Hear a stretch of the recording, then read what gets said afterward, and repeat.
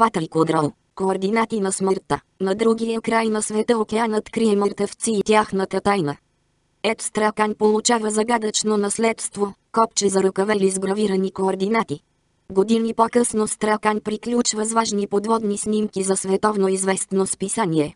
Животът е хубав, Карибски остров, красива жена, вечеря на свещи. Но нещата скоро се променят. Вечерта поднася ужасяващ обрат и на зазоряване Стракан се оказва главният заподозрян в заплетено убийство.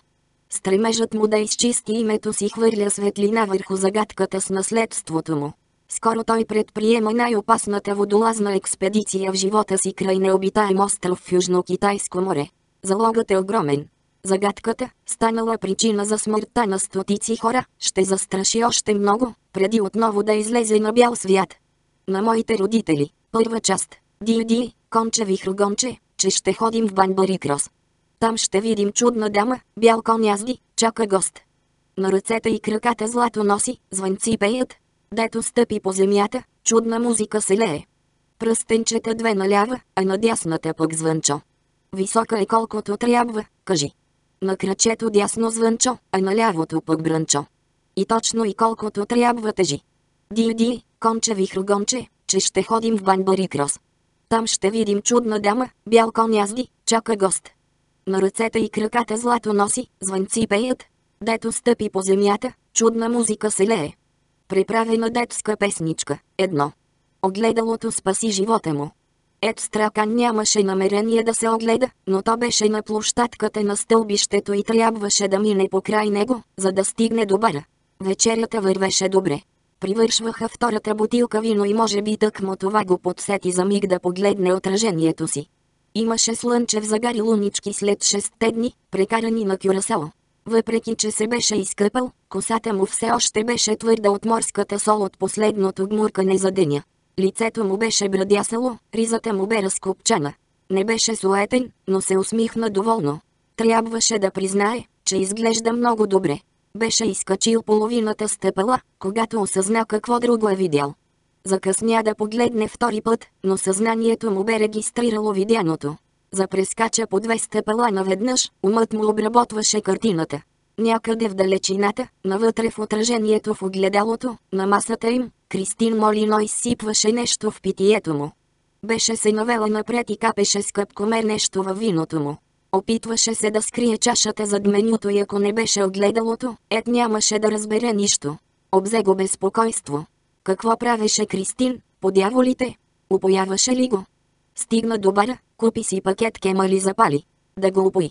Да, точно това правеше Кристин. Докато пиеха аперитива, му беше казала за увлечението си по екстази. След ордьовър кръкът и беше на коленете му и Кристин му предложи да опита дрогата. Теорията й беше елементарна, сексът е по-добър секс тази, защото наркотикът засилва и удължава удоволствието. Стракан не взимаше наркотици, така че се засмя и отказа. По лицето й пробяга раздразнение и той се извини и отиде да си купи цигари. И сега беше изумен от дързостта й. Кристин Молино явно не приемаше откази. На другия ден Ед заминаваше за Лондон с филмите за календара с подводни снимки, които бе направил за National Geographic, и се надяваше да се срещнат пак, когато Кристин се върнеше от почивка по-късно през седмицата. След като обаче видя отражението и в огледалото, вече не беше сигурен. Номерът и го ядоса. Беше очевидно защо са дошли в това заведение. Стракан беше на 29 и прекрасно знаеше, че когато една красива жена тегали с крак по чатала, това не е за да ти подобри кръвообращението. Дръпна пак от цигарата и реши да размени чашите. Ако Кристин искаше да се надруса, нямаше нищо против. Тя можеше да го направи и без него. Плати цигарите и тръгна към салона. Оркестърът свиреше калипсо. Кош за омари беше най-хубавият ресторант в Вилемстад. Заведението беше направено от дърво и плетена ръките и се намираше до сами водата. Масата им беше в дъното. Докато се връщаше, Стракан забеляза ятоли манди, проблясваха като парченца стъкло, докато обикаляха във водата и търсеха трохи. Шторите от рафия бяха вдигнати и пламъците на свещите потрепваха от полеха на вятъра. Кристин се беше наметнала с жилетката си. Беше много красива. Забите й бяха бели равни и когато се усмихнеше, излъчваше здраве. Тялото й беше атлетично като на момиче от корица на списание. И пак когато се усмихнеше, около очите й се събираха бръчици и му напомняше за някого, но не можеше да се сети за кого. Сервитьорът вече беше взел чиниите им. Опятът в чашата на стракан се беше разтворил, без да остави следа. Той седна и угаси цигарата. Не е ли те по цял ден да се гмуркаш? Попита тя с непогрешимия си акцент от Ист Енд в Лондон. Ами. Кристин се носеше спортно, така че по ръба на чашата й нямаше червило. В двете чаши имаше еднакво количество вино, но нямаше да останат дълго така. Стракан взе едно хлебче от кошничката, разчупи го на четири и хвърли парчетата над главата й. Лимандите се скупчиха и Кристин се обърна да види трескавата над превара, а Ед бързо размени чашите. Отне му само секунда. За рибите. Той вдигна чашата си и я чукна в нейната, после задържа виното в устата си, преди да преглътне, като познавач. Всъщност предпочиташе бира. За рибите, повтори Кристин. Стракан май мъничко преиграваше, но тя не забеляза. Изгълта виното и екстазито. Не се задави, нито се хвана за гърлото. Поразителните и сини очи блеснаха. Усмивката и сякаш казваше, да се прибираме. Вечерята свърши. И двамата изведнъж изпитаха усещането, че не могат да отлагат повече. Стракан предложи да се включи в сметката, макар да знаеше, че не може да си го позволи.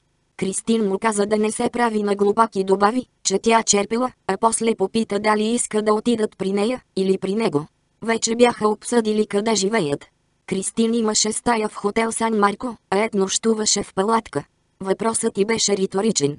Тя плати сметката и двамата изскочиха от ресторанта, хванати за ръце. Стаята на Кристин беше малка и обзаведена с карибски кич. Столчето до бюрото и креслото въгъла бяха от бамбук. Репродукциите по стените изобразяваха лодки, палми и тропически плодове. На пода бяха захвърлени джинси, а на перваза на прозореца съхнеха розови бикини. Стракан неодобрително загледа картините, докато Кристин му носеше бира от минибара. Тя се кикотеше и леко флъфлеше, докато му заповядваше да се съблече. Останала без дъх, отиде в банята, като обеща да се върне в нещо по-удобно, но се появи поевино облекло. Етя чакаше в същото състояние на леглото. Аз съм чисто гола. Кристина разтърси дългите си до раменете черни коси. И аз съм чисто гол. Сърцето му блъскаше в гърдите като топка за голф, завързана за ластик. Не, махни и това. Тя посочи веришката му и закаченото на нея сребърно копче за ръкавели. Говореше завалено. Ед се притесни. Дали Кристин не беше взела нещо, преди да сложи опят във виното му? Ако беше, имаше опасност да е поела свръхдоза. Копчето ще остане. Гласът му потрепери колебливо. Копчето беше семейно наследство. През последните 11 години го беше свалял само за да мине през детекторите за метал на летищата. Беше едното от двете, направени от дядо му, другото беше откраднато в нощта, когато родителите му починаха. Кристин се намръщи, сякаш търсеше отговор на гатенка. Няма значение, каза и бавно тръгна към него. Криси, трябва да ти кажа нещо. Но тя не слушаше. Сви пръстите си като ногти на хищник и засмъква чершафа от него.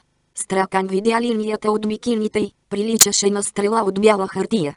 Трепна, когато гърдите й го докоснаха. Очите й вече не пламтяха, а направо се изцъклиха. Ед понечи да се надигне и да й каже да спрат, но Кристин продължи да пълзи, намести се на гърдите му и го прикова към леглото. Криси, да го направим друг път. Не си добре. Размених чашите. Нещо не беше наред. Тя се задъхваше, мъчеше се да си поеме дъх. Криси. В очите й проблесна прозрение. А после тя се загърчи конвулсивно, вкопчи пръсти в гърдите си и се стълполи на пода. Две. Лежеше по гръб. Устните й бързо посиняха. Очите й се подбелиха и заприличаха на варени яйца. Стракан коленичи до нея, грабна телефона от нощното шкафче и набра 912, за да повика линейка. Но сбърка бутоните и трябваше да набере отново. Приятелката ми припадна. Беше се озовал в ничията земя между реалността и фантазията. Гласът му звучеше странно и сякаш не беше неговият. Имаше чувството, че играе роля в представление, на което журито те първа ще даде оценка. Не беше изпаднал в паника, но искаше да обясни, че положението е спешно. Мисля, че е сърдечен пристъп. Къде се намирате? В хотел Сан Марко, стая 43. В съзнание ли е приятелката ви? Не. Припадна. Диша ли? Не, не диша. От колко време е в това състояние? От десетина секунди. Има ли? Моля ви, изпратете линейка, каза той и затвори. Нямаше време за разговори. Кристин наистина беше зле. Дано линейката да дойдеше бързо. През един на десетте години Гмуркане Стракан не беше прилагал на практика медицинската си подготовка, но сега някак си внезапно си спомни всичко. Отговорността да спаси живот. Докосна китката на Кристин, за да провери дали има пулс, но не долови нищо. След това допря пръсти до югуларната вена. Пак нищо. Отвори устата и погледна дали не си е глътнала езика, и започна да й прави изкуствено дишане, опитваше се да не обръща внимание на иронията, че най-после устните им се бяха слели. Минаха три минути. Кристин не показваше признаци на живот. Стракан продължи с изкуственото дишане, отброяваше ритъма. Натискът му ставаше все по-силен, отчаянието му да я съживи нарастваше. Кристин обаче не реагираше. След още две минути Ет изгуби надежда, седна на леглото и се вторачи в тавана. Екипът на линейката можеше да угаси проблясващите сини светлини и да изключи сирената. Нямаше смисъл да бързат. Кристин Молино беше мъртва. Имаше чувството, че в него пърха някакво живо същество. В стомаха му като оси, затворени в буркан, хаотично се стрелкаха паника, страх, огризения, съжаление и любопитство. Нямаше сили да погледне Кристин. Облече се, отиде в банята и пи вода, за да прогони усещането за гадене. После се върна в стаята, смъкна чершафа от леглото и покри трупа.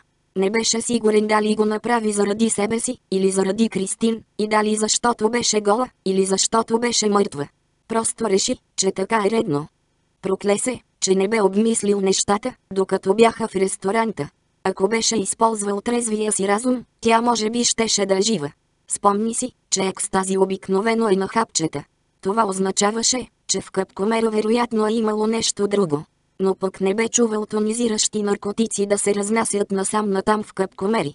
Мястото на къпкомерите беше вкъщи, ако си хремав, а не в ресторантите. Но умуването и закъснелите му преценки нямаха значение. Вината беше негова. Запали цигара. Нещо се промъкна в съзнанието му и той си спомни изражението на Кристин, когато и каза, че е разменил чашите. Прозрение, разбиране и потвърждение, сякаш в случващото се има логика и тя не е изненадана от онова, което става с нея, и признава, че е победена. Кристин явно имаше богат опит с наркотиците, затова сигурно знаеше какво количество е безопасно и какво опасно. Къпкомерът беше дълъг 5 см. Дозата беше голяма.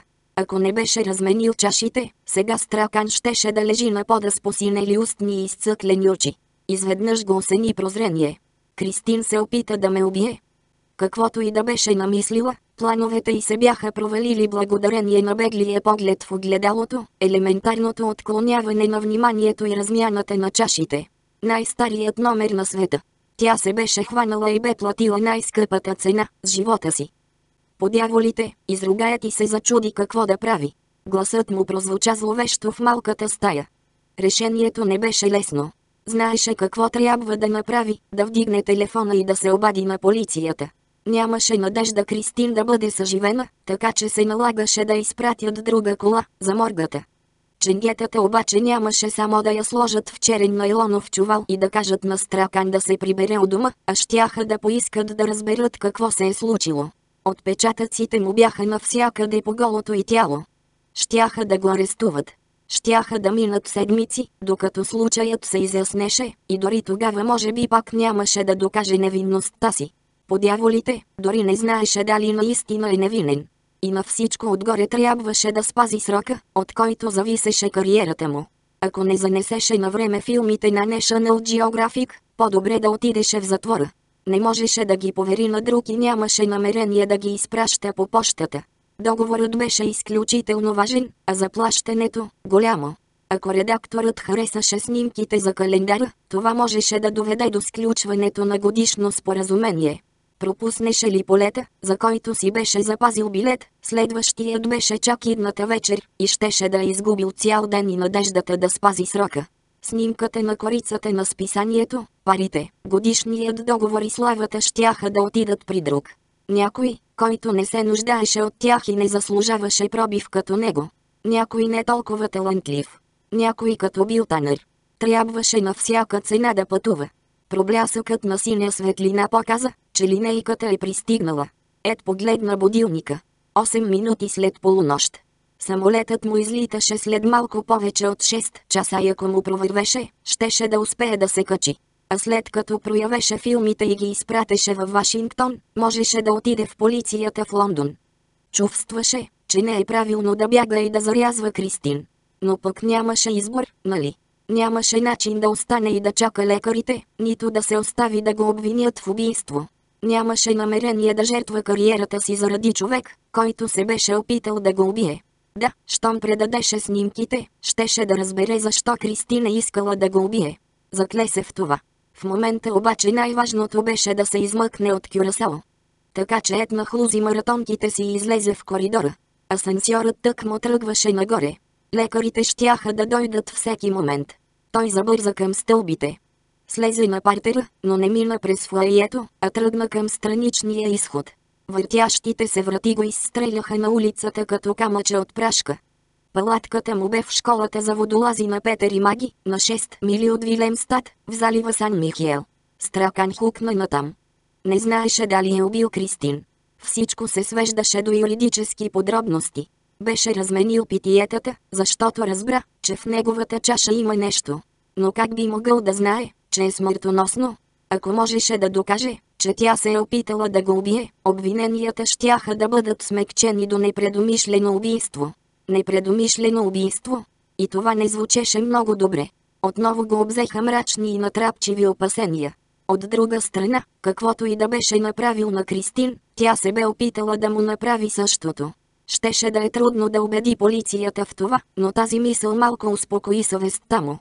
Стигна до брега, затича в ритъм с плисъка на разбиващите се вълни и започна да се отпуска. Не я беше убил. Беше си нещастен случай. Имаше начин да се измъкне и всичко щеше да е наред.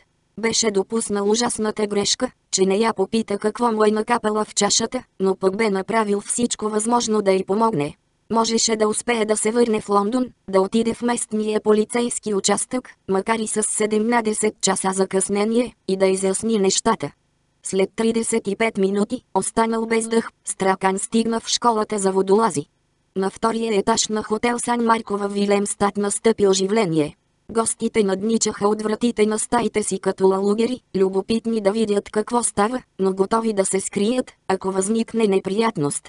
Управителят сновеше по коридора и ги уверяваше, че няма за какво да се безпокоят. В стая 43 и третият електрошок с дефибрилатора не успя да съживи Кристин Молино.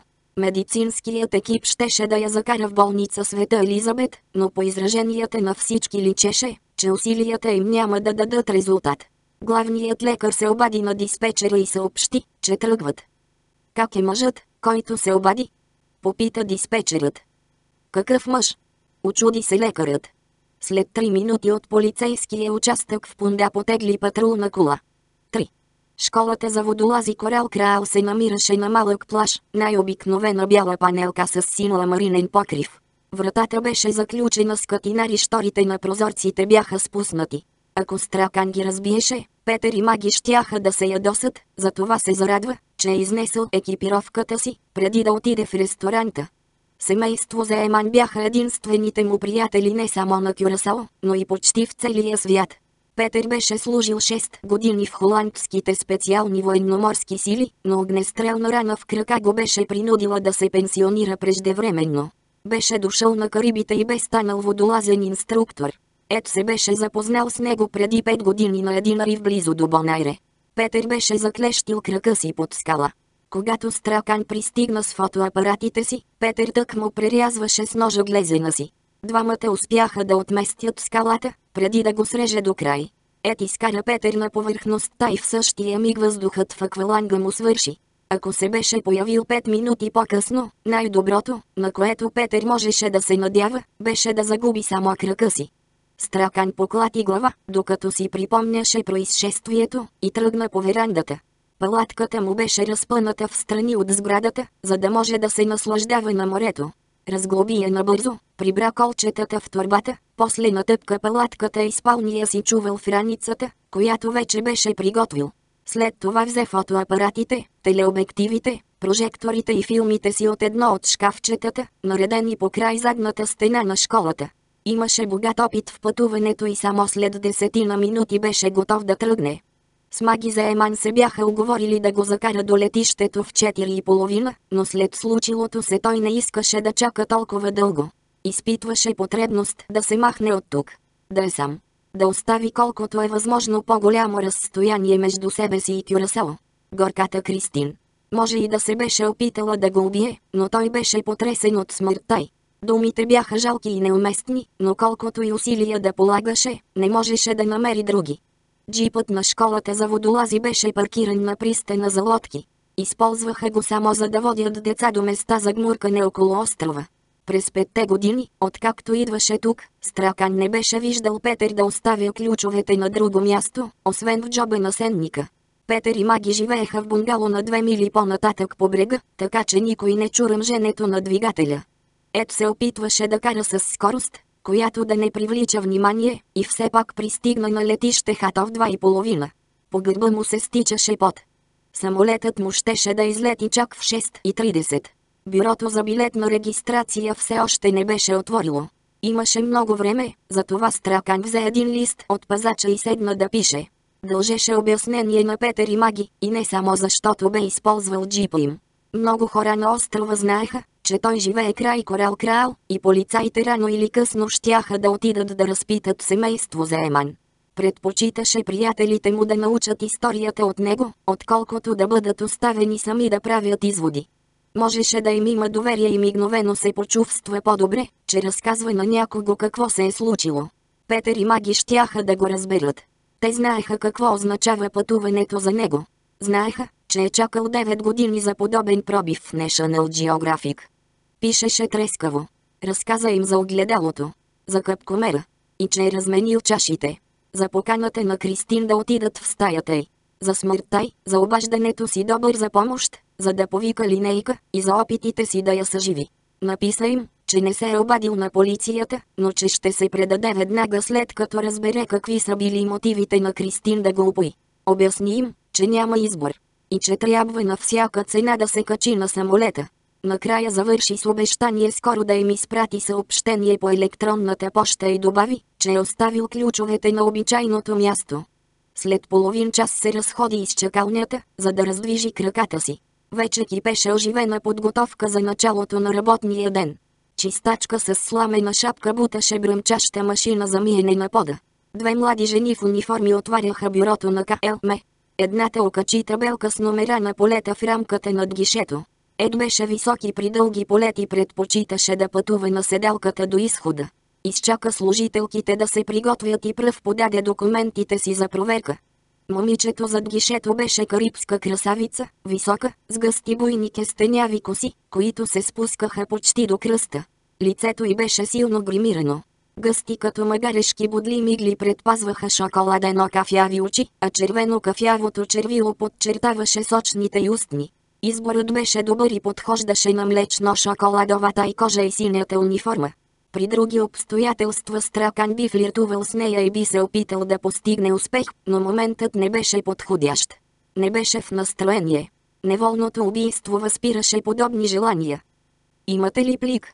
Попита той. Разбира се.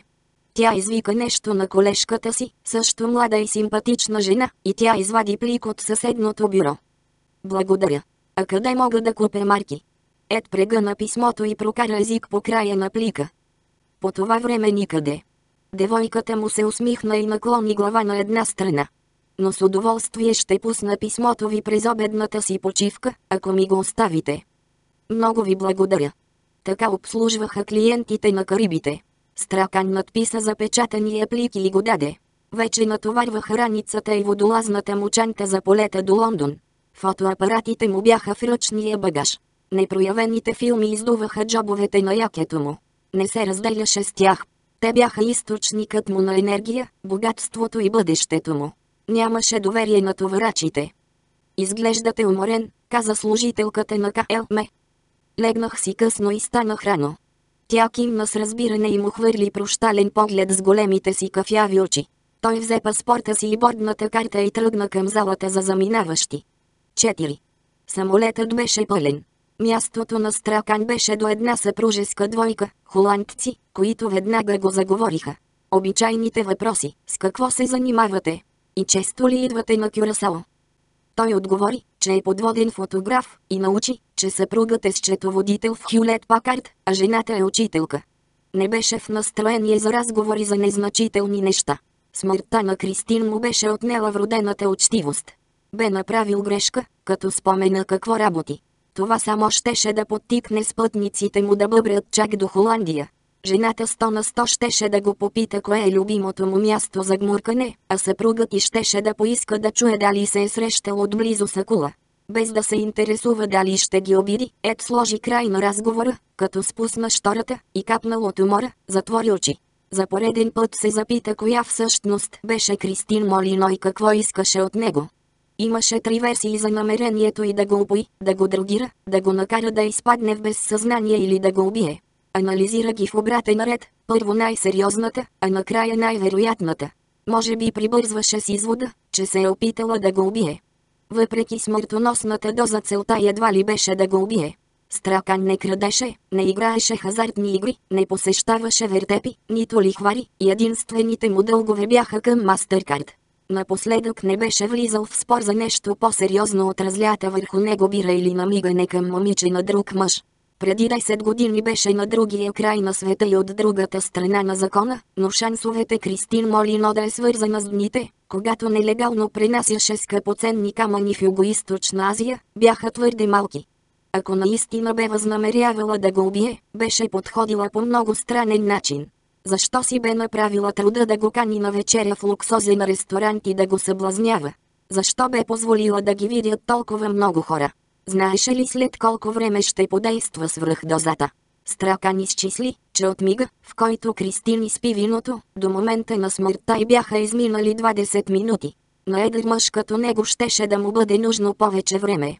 Ами ако беше поискал да останат в заведението, ако беше отказал на предложението и да отидат в стаята й, нещо не се връзваше. А и освен това Кристин нямаше мотив. Предположението, че е убийца, беше нелепо. Кристин беше градско момиче, което обичаше секса без задръжки и това му харесваше. А защо би искала да е в безсъзнание? Да го обере? Ако мотивът ти беше този, бе избрала погрешния човек. Банковата му сметка не струваше и хартията, на която беше написана. В портфейла си имаше около 80 година. Изнасилването също беше изключено. Как щеше да го направи, ако беше в несвяст?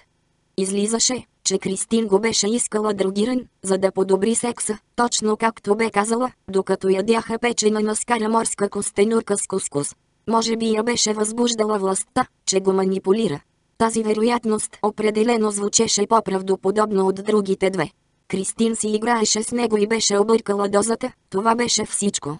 Този извод обаче не му помогна и направи още по-труден за възприемане факта, че я беше убил. След 6 часа Стракан все още беше буден.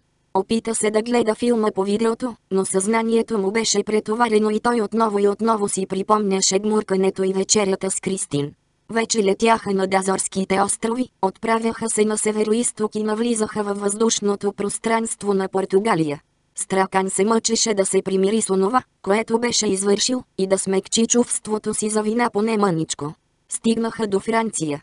Ед все още не намираше покой. Не можеше да избие от главата си Кристин Молино. Всичко започна с непринуден разговор. Бяха приключили с обяда и Петър Заеман го тупна по рамото. Ще ми направиш ли една услуга, Ед? Разбира се. Една от ученичките ми тази сутрин завърши курса в открито море. Искам след обед да я вземеш с теб, когато се гмуркаш край Пойнт Найф. Стракан поклати глава. Предишната нощ беше прекалил с Рома и крайният срок във вторник застрашително се приближаваше като кръжаща над него хищна птица. За нищо на света. Съжалявам, Петър, но това е най-важната снимка за седмицата. Не ми трябва непохватна аматьорка, която да се бори да запази равновесие, да мъти водата и да плаши рибите.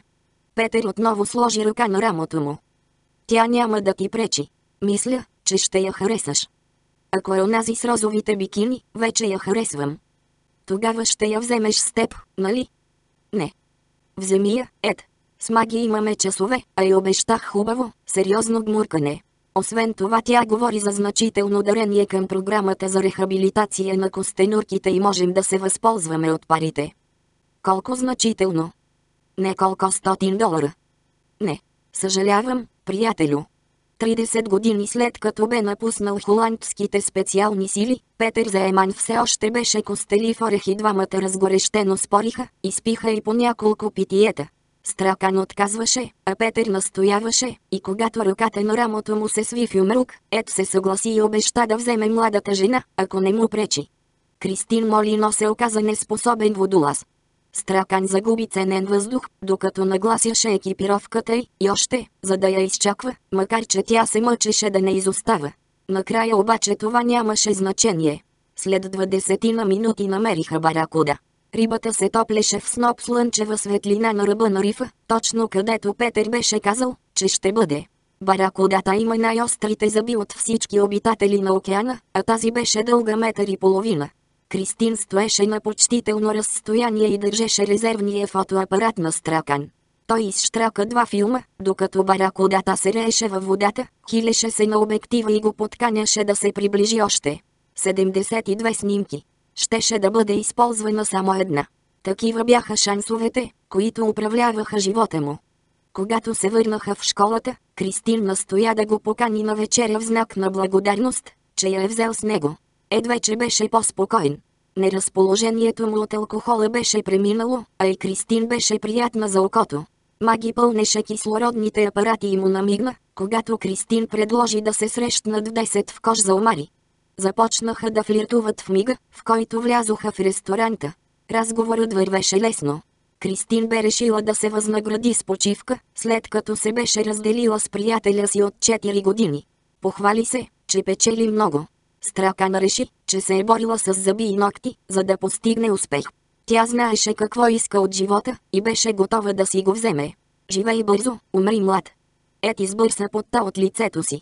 Кристин Молино определено беше направила второто. Самолетът кацна на време на летище Шхиполи се приближи към сградата. Командирът на полета каза някакво съобщение на холандски, Стракан не го разбра. Въпреки редовните си посещения на Кюрасал не си беше направил труда да научи повече от основното. Английският на Петър и Маги беше добър и се говореше на Карибите като холандския и местния диалект. Навън беше тъмно, дъждовни струи се стичаха по стъклата на Боинга. Капитанът повтори съобщението на английски и този път Стракан го разбра. Думите означаваха, че филмите няма да бъдат проявени на време и че той ще изпусне крайния срок. Можеше да се сбогува с петцифрения чек и годишния договор с National Geographic. Съобщението означаваше, че с него е свършено. 5. Добър вечер, госпожи и господа. Говори командирът. Часът е 20.46. Надявам се, че полетът е бил приятен и сте успели да си починете. Приближаваме се към сградата на летището и искам да ви помоля да останете по местата си, докато самолетът не спре. Има малък проблем с полицията.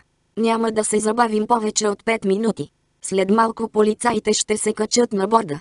Няма абсолютно никаква причина да се тревожите. Благодаря ви за съдействието. Желая ви приятна вечер. Няма причина да се тревожи. Стомахът на Стракан се сви. Той осъзна колко наивно беше поступил. Нямаше да успее да се върне в Лондон. Трябваше да се сети, че ще стане така. Бяха изминали 9 часа, откакто бе напуснал Кюрасао, и 15, откакто бе излязъл от хотела. Достатъчно време за ченгетата да проследят какво е правила Кристин. Нужна им беше само сметката в чантата й. Сервитьорът пък беше описал придружителя и властите на летище Хато го бяха разпознали. Едва ли имаше по-лесно издирване на човек.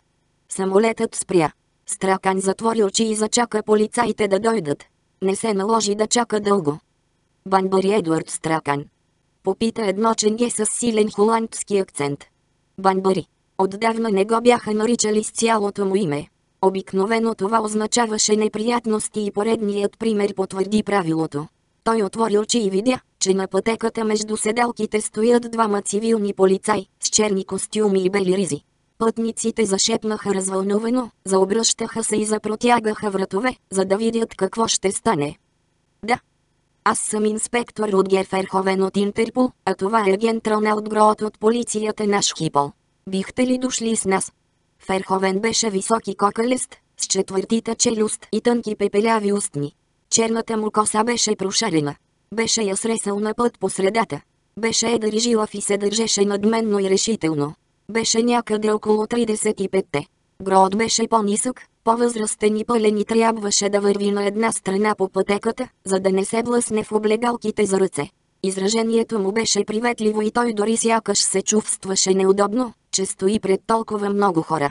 Попипваше нервно пропуска от охраната, който бе окачен на врата му. Стракан предположи, че Гроот ще играе ролята на доброто ченге, а после ще се прибере вкъщи и ще вечеря си Ренегауда и бира хрош с също толкова дебелата си съпруга. Ет разкопча предпазния колан, взе фотоапаратите си от багажника над главата и тръгна след полицайите, без да обръща внимание на втренчените погледи и шепота след тях. Слязоха от самолета и ченгетата спряха. Грод зае позиция пред него, в случай че Стракан реши да побегне. Ед беше стънко яке и риза скъси ръкави и настръхна от рязката промяна в температурата. Паспортът. След като вече наоколо нямаше пътници да го чуят, Ферховен заряза учтивия тон. Стракан познаваше полицаите като него, педанти и фанатици, очарователни като ограда от модлива тел. Бръкна в джоба си и му даде паспорта си. Ферховен потвърди опасенията му, че го арестуват по подозрение в убийство. Гроот му прочете правата и каза. Ръцете. Какво? Протегнете си ръцете, почти изрева Ферховен, за пръв път повиши тон. Стракан изпълни заповедта и протегна ръце с дланите нагоре, сякаш се молеше да му дадат храна. Белезниците бяха студени и твърди и се впиха в китките му като ногти на хищна птица. Той не изпадна в паника, но му се догади. В момента мълчанието беше най-добрият избор. Мълчанието не можеше да бъде изтълкувано погрешно.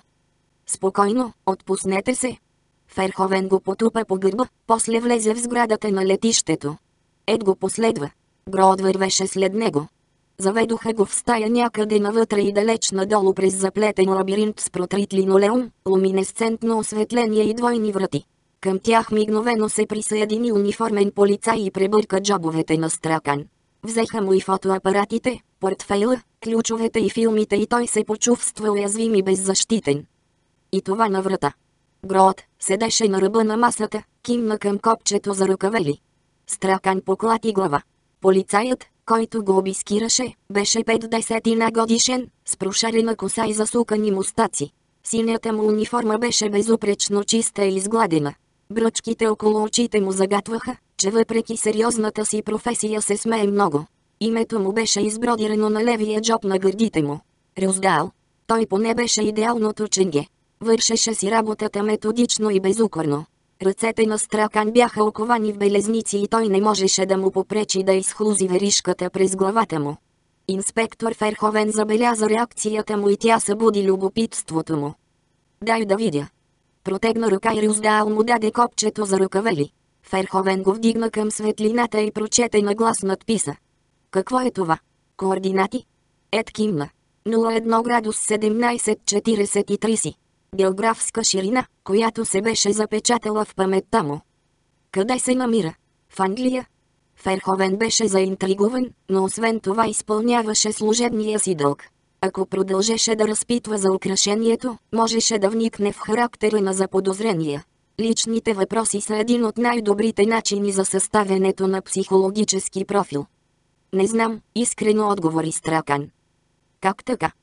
1 градус и 17 минути географска ширина минава през 16 държави. Необходими са координатите и за географската дължина, за да се стесни списъкът. Ед не добави, че координатите за географската дължина са гравирани на второто копче за ръкавели, което му бяха откраднали. Нито спомена, че двете копчета заедно уточняват местоположението на наследството му, фамилна тайна, предадена от дядо му на баща му, който беше починал, преди да има възможност да му я каже. Ето защо Стракан нямаше представа къде е наследството му. Кои държави? Ед се поколеба. Едва ли щеше да му навреди, ако каже. Освен това, ако наистина се интересуваше толкова много, Ферховен можеше да ги открие на картата. Сомалия, Кения, Уганда, Заир, Конго, Габон, Екваториална Гвинея, Бразилия, Гвяна, Колумбия, Еквадор, Микронезия, Индонезия, Малайзия, Сингапур и Малдивските острови. Беше изучавал атласа хиляди пъти и ги знаеше наизуст. Ферховен остана смаян. Защо го носите на врата си? Повечето хора ги слагат на ризите си. Имам само едното. Другото беше откраднато много отдавна. Ед беше уморен и притеснен. Не му се говореше за копчетата за рукавели, но искаше да съдейства на ченгетата. Беше се забъркал в нещо наистина неприятно. Жалко. Ферховен се ухили. И как точно стана? Дълга история. Повярвайте ми, имате много време. Ценно ли е? Стракан отмести поглед. Второто копче беше скрито в купчи на стари вестници и беше взето от сейфа на родителите му в нощта, когато умряха. Тогава той беше 8 годишен и майка му и баща му го бяха оставили с дете гледачка и бяха отишли на ресторант, за да празнуват годишнината от сватбата си. Обичайната дете гледачка беше заминала някъде и агенцията им изпрати една злобна коравосърдечна заместничка, която му зашлеви плесница, когато той отказа да си легне. Кръстникът му Елдриан Хамилтън разкри кражбата след седмица. Елдриан беше братовчет на баща му и изпълнител на завещанието на родителите му. В завещанието имаше инструкции Хамилтън да стане настойник на Ед, в случай че родителите му починат, преди да е навършил 18 години. Според друга клауза, зависима от първата, Хамилтън трябваше да му предаде копчетата за рукавели на 18-тия му рожден ден заедно с съобщението Ед ще разбере каква е истинската им стойност. Завещанието включваше комбинацията на фамилния сейф и когато Хамилтън намери само едното копче, подозренията му веднага се насочиха към дете гледачката. Тя беше нервна и бързаше да си тръгне, когато Хамилтън дойде в къщата, за да съобщи тъжната новина. По-късно той забеляза гънка на килима, която предполагаше, че сейфът е бил преместван. След няколко дни Хамилтън се опита да открие дете гледачката, но установи, че тя се е записала с фалшиво име в агенцията. Това беше последното доказателство, което му беше необходимо, и той съобщи на полицията за инцидента. За съжаление ченгетата не проявиха интерес. От сейфа не беше откраднато нищо друго и изчезналото копче за ръкавели не беше достатъчно, за да предизвика сериозно разследване. Направиха символичен жест, като потърсиха дете гледачката, но след няколко дни приключиха случая. Впоследствие Хамилтън се опитваше да я открие, но след няколко безрезултатни опита през годините се отказа. Стракан нямаше намерение да разказва всичко това на Ферховен, затова отговори само на втората половина на въпроса. Не, има сантиментална стойност. Колко мило. Любопитството му беше временно задоволено и Ферховен подхвърли копчето на Рюздал. Сержантът го лови и го пусна в найлоновия плик с останалите вещи на Стракан, после седна до масата и започна да прави опис на съдържанието. Ще пазите филмите ми, нали? Това беше по-скоро предупреждение, отколкото въпрос, защото Ферховен изглеждаше способен на мръсни номера. Не се тревожете за филмите си, банбари, а си починете. Предстои ви дълга нощ. Ферховен се усмихна и тримата полица излязоха от стаята. Ключът се превъртя и по линолеума отвън изскърцаха подметки. Не му свалиха белезниците. Китките му бяха подути и го боляха. Ферховен беше решил, че за подозреният е виновен. Нямаше прозорци и в стаята беше задушно. Стракан, беше потен, отпусна глава на масата. Беше ужасно изтощен, почти болен. Докато ту задрямваше, ту се стряскаше, в съзнанието му се въртяха мисли за Кристин Молино. 6. Събуди го изштракването на ключа в ключалката. На прага застана Гроот. Държеше пластмасова чаша кафе. Имате право на телефонен разговор. Искате ли да се обадите? Ед кимна. Елате тогава, рече полицаят. Стракан стана, излезе и примига на неоновото осветление в коридора. Колко дълго беше спал? Ускори крачка и погледна часовника на Гроот. 2 Значи бе дремал 3 часа. Имаше чувството, че са били 3 минути и не си беше починал. Беше объркан от дългото пътуване. Защо е замесен Интерпол? Поласкан съм. Не бъдете. Преминали сте границата. Вие сте англичанин и покойната е англичанка, но престъплението е извършено на холандските антили. Случаят е заплетен от юридическа гледна точка. Помагаме на нашите приятели на Кюрасао. Те не винаги имат възможността да разследват подобни престъпления. Мислех, че Интерпол се занимава с издирване на откраднати картини. Стракан искаше да събере повече информация и дори да си намери ако не съюзник, то поне доброжелател. Инспектор Ферховен се занимава с много неща – тероризъм, наркотици, фалшифициране, нелегален трафик на хора и сериозни измами. Дори с убийства и срещи с цел изнасилване. Срещи с цел изнасилване. Да. Това драстично променяше нещата. Ет имаше чувството, че го удариха. Среща с цел изнасилване. Догади му се от самите думи. Или холандските полицаи правеха прибързани изводи, или Гроот се опитваше да го сплаши. Стракан не продължи да го разпитва. Знаеше кога да си затвори устата. Влязоха в кабинета и ченгето му свали белезниците. Кръвта нахлу в побелелите ръце на Ед. Той ги разтри, за да възстанови кръвообращението. След малко вцепенението премина и Стракан отпи от кафето, което му даде Гроот. Беше силно, без сметана и сладко. Стори му се, че не е пил по-хубаво кафе. Ако беше в Англия, щеше да е ефтино, блудкаво и пълно с мръсотия от отдавна непочистен автомат. Гроот му даде ламинирана карта с дълъг списък телефонни номера и му каза да набере 9, за да получи външна линия. Повечето номера бяха на посолства и консулства и бяха изброени по континенти в азбучен ред. Най-отдолу имаше други полезни номера, на четирима адвокати, на самаряните и на главния клон на Уестърн Юнион в Амстердам. Стракан му го върна. Знаеше на кого иска да се обади и списъкът не му трябваше. Беше понеделник сутринта. Крайният срок беше вторник вечерта. Ед трябваше да е в лабораторията на Лопус Стрит и да проявява филмите, за да ги изпрати по експресната въздушна поща National Geographic в Вашингтон. В края на предишната година членовете на редакционната колегия бяха видели снимките му на морски видри по крайбрежието на Ванкувър във водолазни времена, бяха останали смаяни и му бяха предложили да направи фотографии за корицата и за 7 от 12 месеца за календара за следващата година и да покрият разноските му за експедициите до Шотландия, Галапагос и Кюрасао. Стракан набра номера. В другия край на линията чубавния провлечен говор на Маколи Гилкрист. Здравейте! Аз съм Маколи Гилкрист. Благодаря ви, че се обаждате на National Geographic. Аз или говоря по телефона, или съм далеч от бюрото си, но ако кажете името и номера си, ще ви се обадя веднага, щом мога. Приятен ден и не забравяйте да се грижите за вашата планета. Това беше поредният удар. Ед беше забравил за часовата разлика. Умората беше замъглила съзнанието му. Във Вашингтон беше 8 вечерта и Гилкрист отдавна бе напуснал работното си място. Стракан не го познаваше лично, но двамата бяха разговаряли по телефона няколко пъти, за да обсъдят поръчката за календара и да уточнят подробностите към вероятния договор. Беше си съставил добро мнение за дружелюбно настроения американец и си представяше редактора като добродушен баща на 60 и няколко години. Гилкрист вероятно имаше прошарени коси и старателно подстригана брада като Шон Конъри в Индиана Джонс и последният кръстоносен поход. И сигурно носеше джинси, кълбойски бутуши и карирана риза и имаше голям джип чероки. На седалката до шофьора слагаше черна бейсболна шапка с надпис National Geographic. Живееше извън града и съпругата му се казваше Мери. Маколи, обажда се Ед Стракан.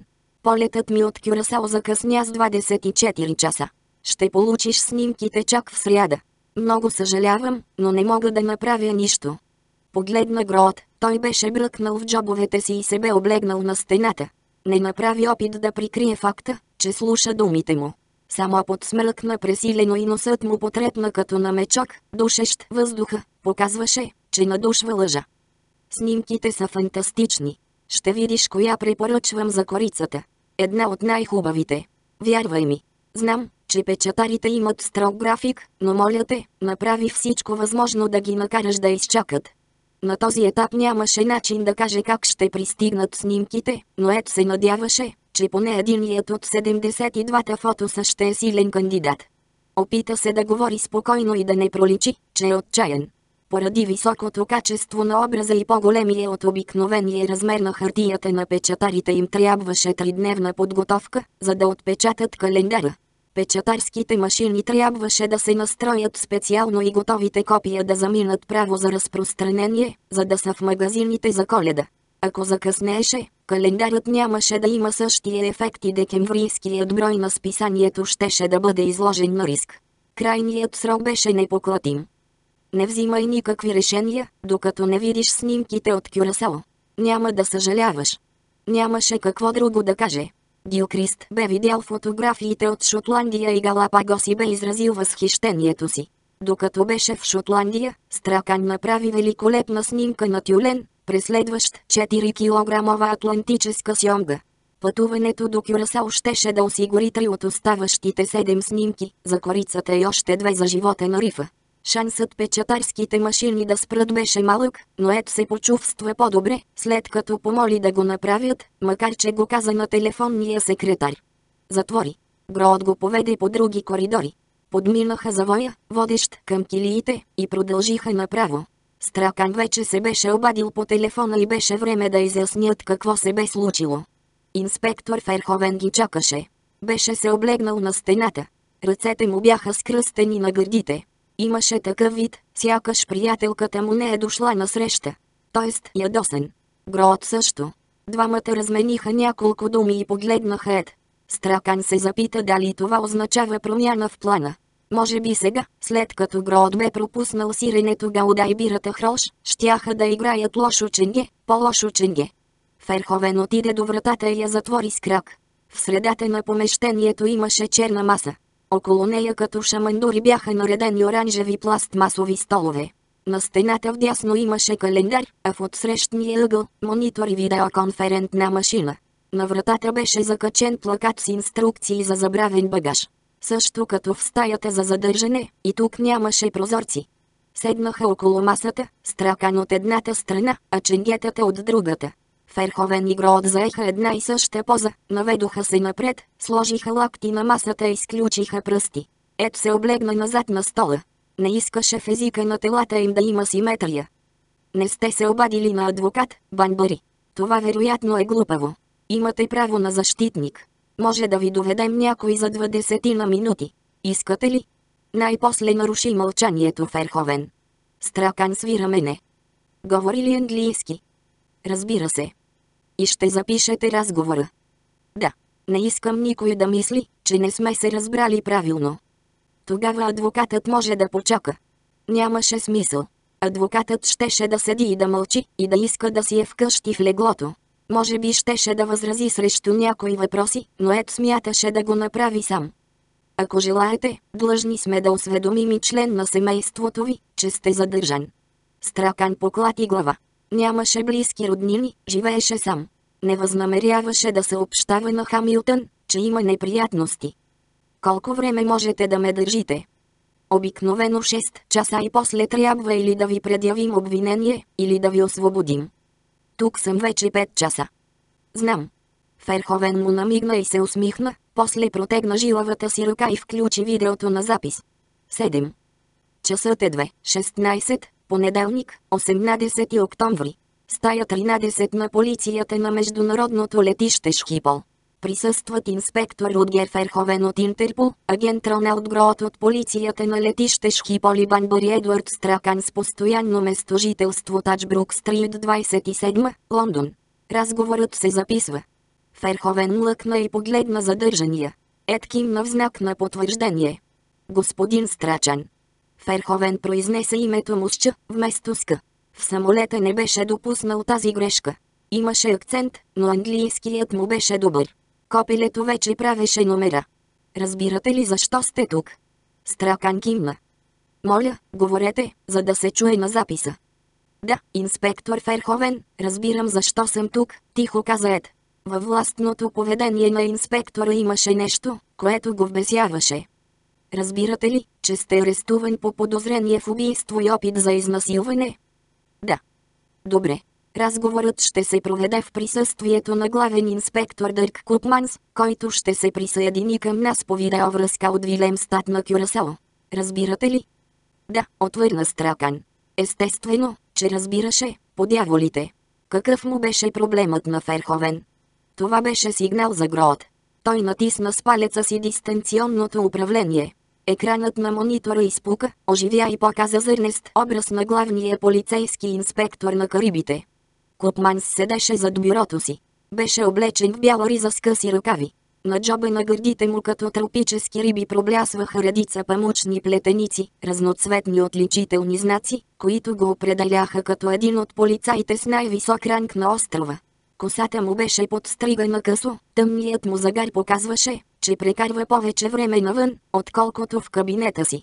Стракан познаваше лицето му от един плакат в кампанията против употребата на алкохол по време на шофиране. Беше слабо, но не отстъпчиво. Загорелите от слънцето му бузи бяха набраздени от бръчки, същински сипе и в пясъчна скала. На вонд звезда, дърк. Ферховен се опитваше да се държи неофициално, вероятно защото широкоплещестият островитянин с студени сиви очи го изнервеше. Звезда добър вечер хол. Б. Пере. Може да ме наричате сър, инспекторе. Във Вилемстад беше 9 вечерта. Купманс не беше останал да работи до толкова късно, за да бръщолеви празни приказки. Стракан прие това като добра новина. Ферховен трябваше да внимава. Купманс започна да говори. Думите стигаха до Амстердам 2-3 секунди след движенията на устните му. Техниката беше стара и връзката не беше в реално време. Жестовете му бяха като на робот. Господин Стракан, както несъмнено знаете, рано сутринта в хотел Сан Марко беше открит трупът на млада жена след обаждане на 912 от стаята й. Тя е получила сърдечен удар от поглъщане на токсини, намерени в стомаха и от нашия патоанатом днес след обед. Смъртта е настъпила някъде между 23 и 24 часа през нощта. Видели са ви с жената в кож за омари и се предполага, че вие сте се обадили на 912 в 23, 59 часа. Служител на Сан Марко свидетелства, че мъж, отговарящ на вашето описание, бързо е напуснал хотела около 0 часа и 10 минути. Държането ви е подозрително. Моля, разкажете ми какво се случи. Стракан се намести на стола. Камерата следеше движенията му. Спокойствието и авторитетът на Купманс му харесваха. Нямаше неумолими полицейски въпроси, нито мелодраматичност. Яката фигура и вълчите му очи му осигуряваха достатъчно силно присъствие. Ет реши, че може да постигне разбирателство с него, ако говори кратко, ясно и по същество. Купманс щеше да оцени това. Пък като всички добри ченията, сигурно имаше нюх към лъжата и увъртането. Стракан пое дълбоко въздух и започна. Бях с Кристин Молино, когато тя умря. Млъкна. Очевидно вече беше казал нещо интересно. Ферховен и Гроот зашепнаха на холандски. Купманс записваше показанията му. Или беше забравил да натисне бутона за запис на видеото, или по-скоро нямаше доверие на техниката. Бях с Кристин Молино, когато тя умря, но не съм я убил. На летището написах писмо на моя приятел Петър Заеман и му обясних как съм замесен в смъртта и какви са причините ми да напусна страната. Проверете в КЛМ. Една от служителките се съгласи да пусне писмото по почтата. Би трябвало утре да пристигне при Петър. Опитваше се да говори спокойно и уверено и да им даде да разберат, че е невинен. Гроот се прокашля. Как е името на служителката на КЛМ? Йоланда. Йоланда коя? Не знам, отвърна Стракан. На значката й беше написано само малкото име. Гроот потърка брадичката си. Преценяваше информацията, сякаш беше достатъчно важна, за да даде тласък на разследването. Ферховен осъзна, че тази подробност няма връзка с случая и предприе първата си атака. Оставете КЛМ. Кой е Петър Заеман и какви са причините да напуснете Кюрасао? Заеман има школа за водолази на Южния бряг. Той е най-добрият инструктор на острова.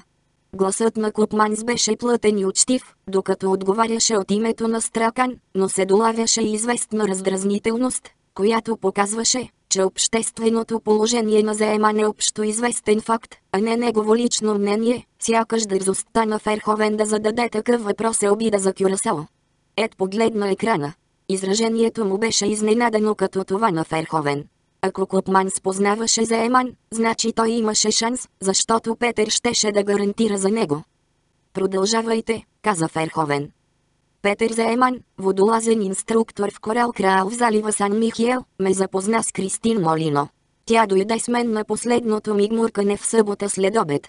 Аз съм подводен фотограф и исках да направя снимки на голямата баракуда край Пойнт Найф. Виждал съм я, прекъсна го Купманс. Грамадна риба. Трябва да е най-малко 15 кг. Да, най-малко. Бих казал 20. Стракан забеляза, че Ферховен недоверчиво се вторачи в монитора.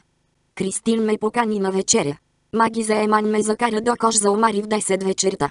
По време на вечерята отидох да си купя цигари и случайно видях, че Кристин слага нещо във виното ми скъп комер. Ед млъкна. В момента би убил някого, за да може да запали цигара. Не беше пушил, откакто напусна Кюрасао. Опишете къпкомера, рече Гроот. Не го видях ясно, защото се намирах на няколко метра. Мисля, че беше дълъг 5 см и по-скоро пластмасов, а не стъклен, с гумичка с цвета на кожата. Гумичка. Това май не беше правилната дума. Какво имаше вътре? Нямам представа. Някаква безцветна течност. Какво стана после? Ферховен поднови атаката си. Върнах се от бара, отвлякох вниманието и размених чашите. Защо го направихте? Моля. Стракан погледна екрана, откъдето му зададоха въпроса. Защо разменихте чашите? Купманс го каза така, сякаш наистина не разбираше. Помислих, че е някакъв наркотик.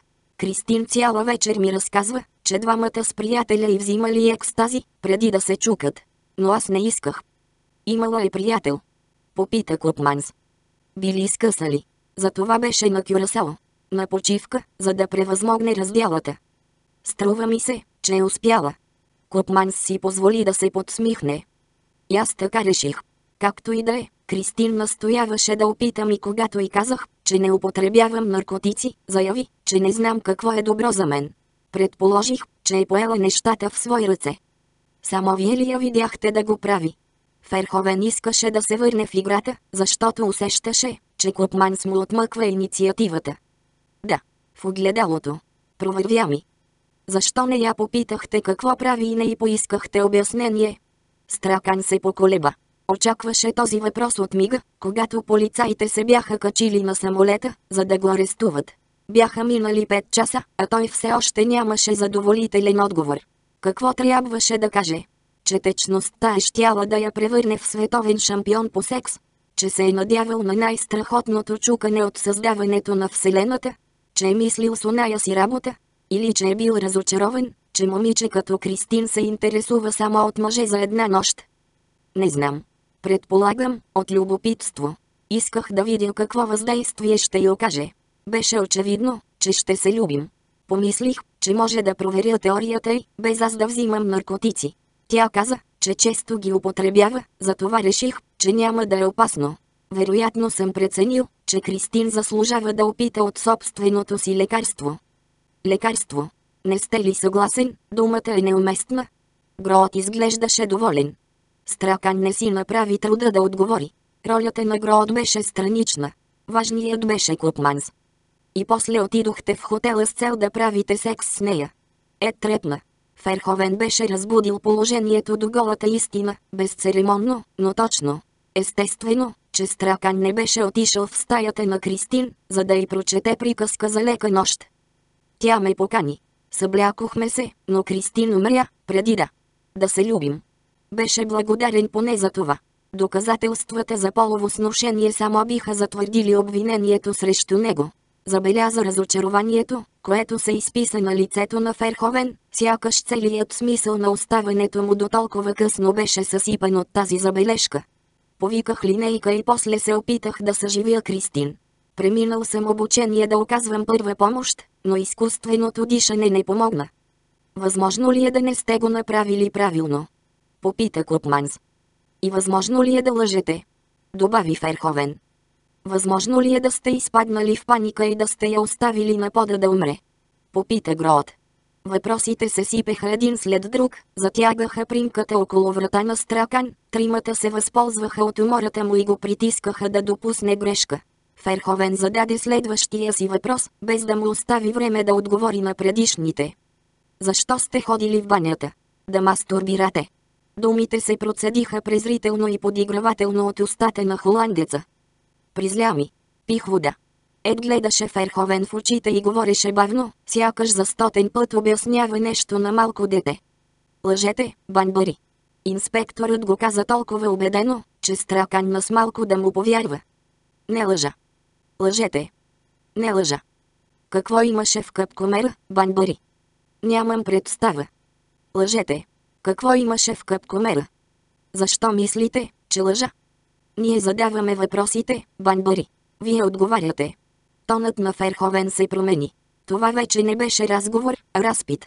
Жената спомена ли нещо за танци, преди да я убиете? Стракан забеляза клопката. Отговорът на въпроса можеше да бъде изтълкуван като признание, че наистина е убил Кристин. Така че не каза нищо. Мълчеше, лицето му беше безизразно. Имаше правото да не говори и моментът беше подходящ да го упражни. Започваше да съжалява, че не бе повикал адвокат. Ченгетата го превъзхождаха по численост.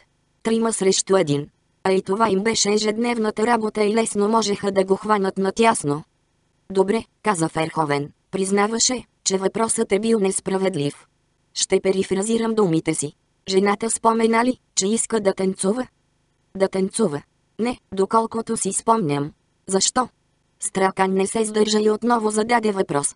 Ако имаше възможност, би попитал за хиляди неща. Патологът стигна до извода, че жертвата е починала от значителна свръхдоза ГХБ, следи от който са открити в къпкомера в чантата й. ГХБ. Какво е това, подяволите? Гама хидроксибутират. Във вашата страна на жаргон го наричат сериозна телесна повреда. В Америка му викат домашен прислужник от Джорджия. Мощен седатив, приспивателно средство, употребявано от две категории хора. Кои две категории? Посетителите на нощни клубове, отвърна Гроот. Изнасилвачите, добави Ферховен. По-точно онези, които отиват на среща, за да изнасилят.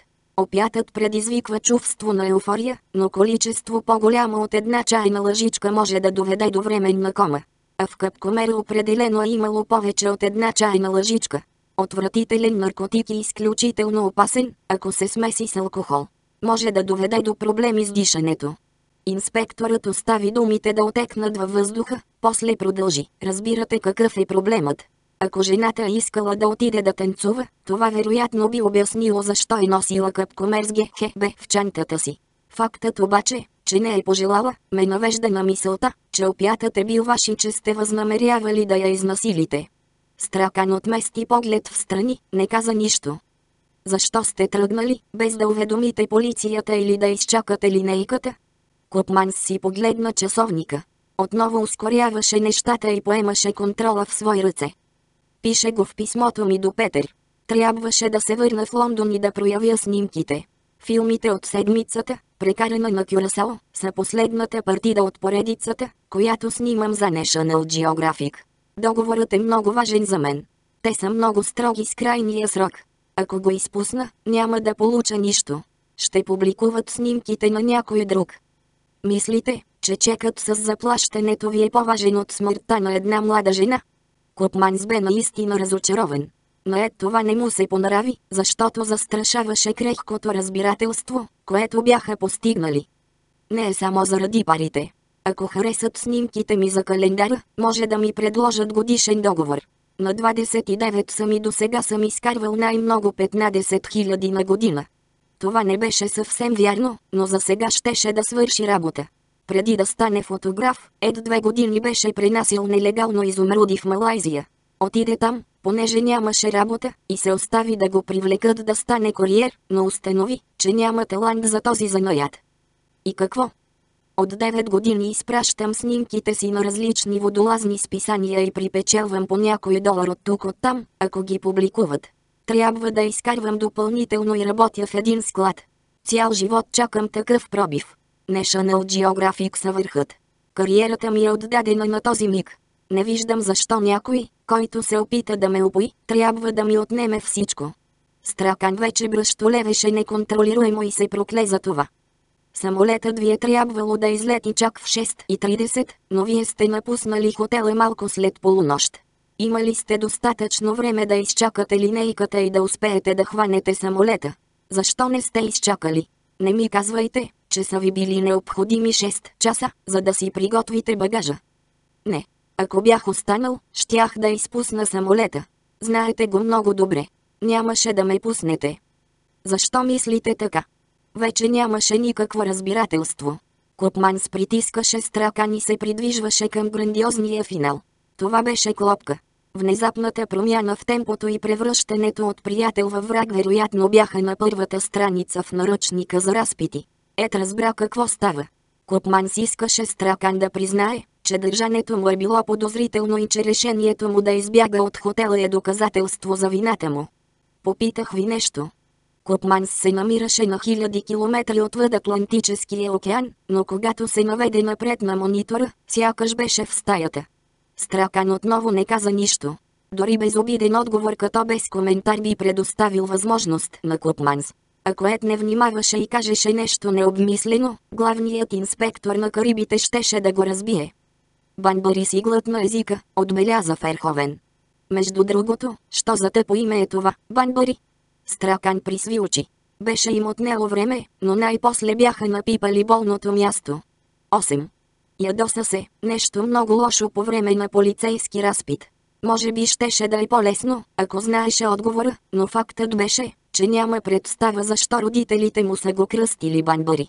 Беше роден във военна болница в Германия и веднъж бе минал през Банбари на път за друго място. Семейството му беше от Шотландия, а не от Оксфордшир. Единствената връзка беше ужасното детско стихче, което баща му декламираше, докато го друсаше на коляното си, когато беше малък. Ди-ди, конче вихрогонче, че ще ходим в Банбари Крос. Стракан го слушаше всеки ден цели 6 години. Римите неизбежно бяха придружени от серия болезнени потупвания и напомнянето да не казва на никого.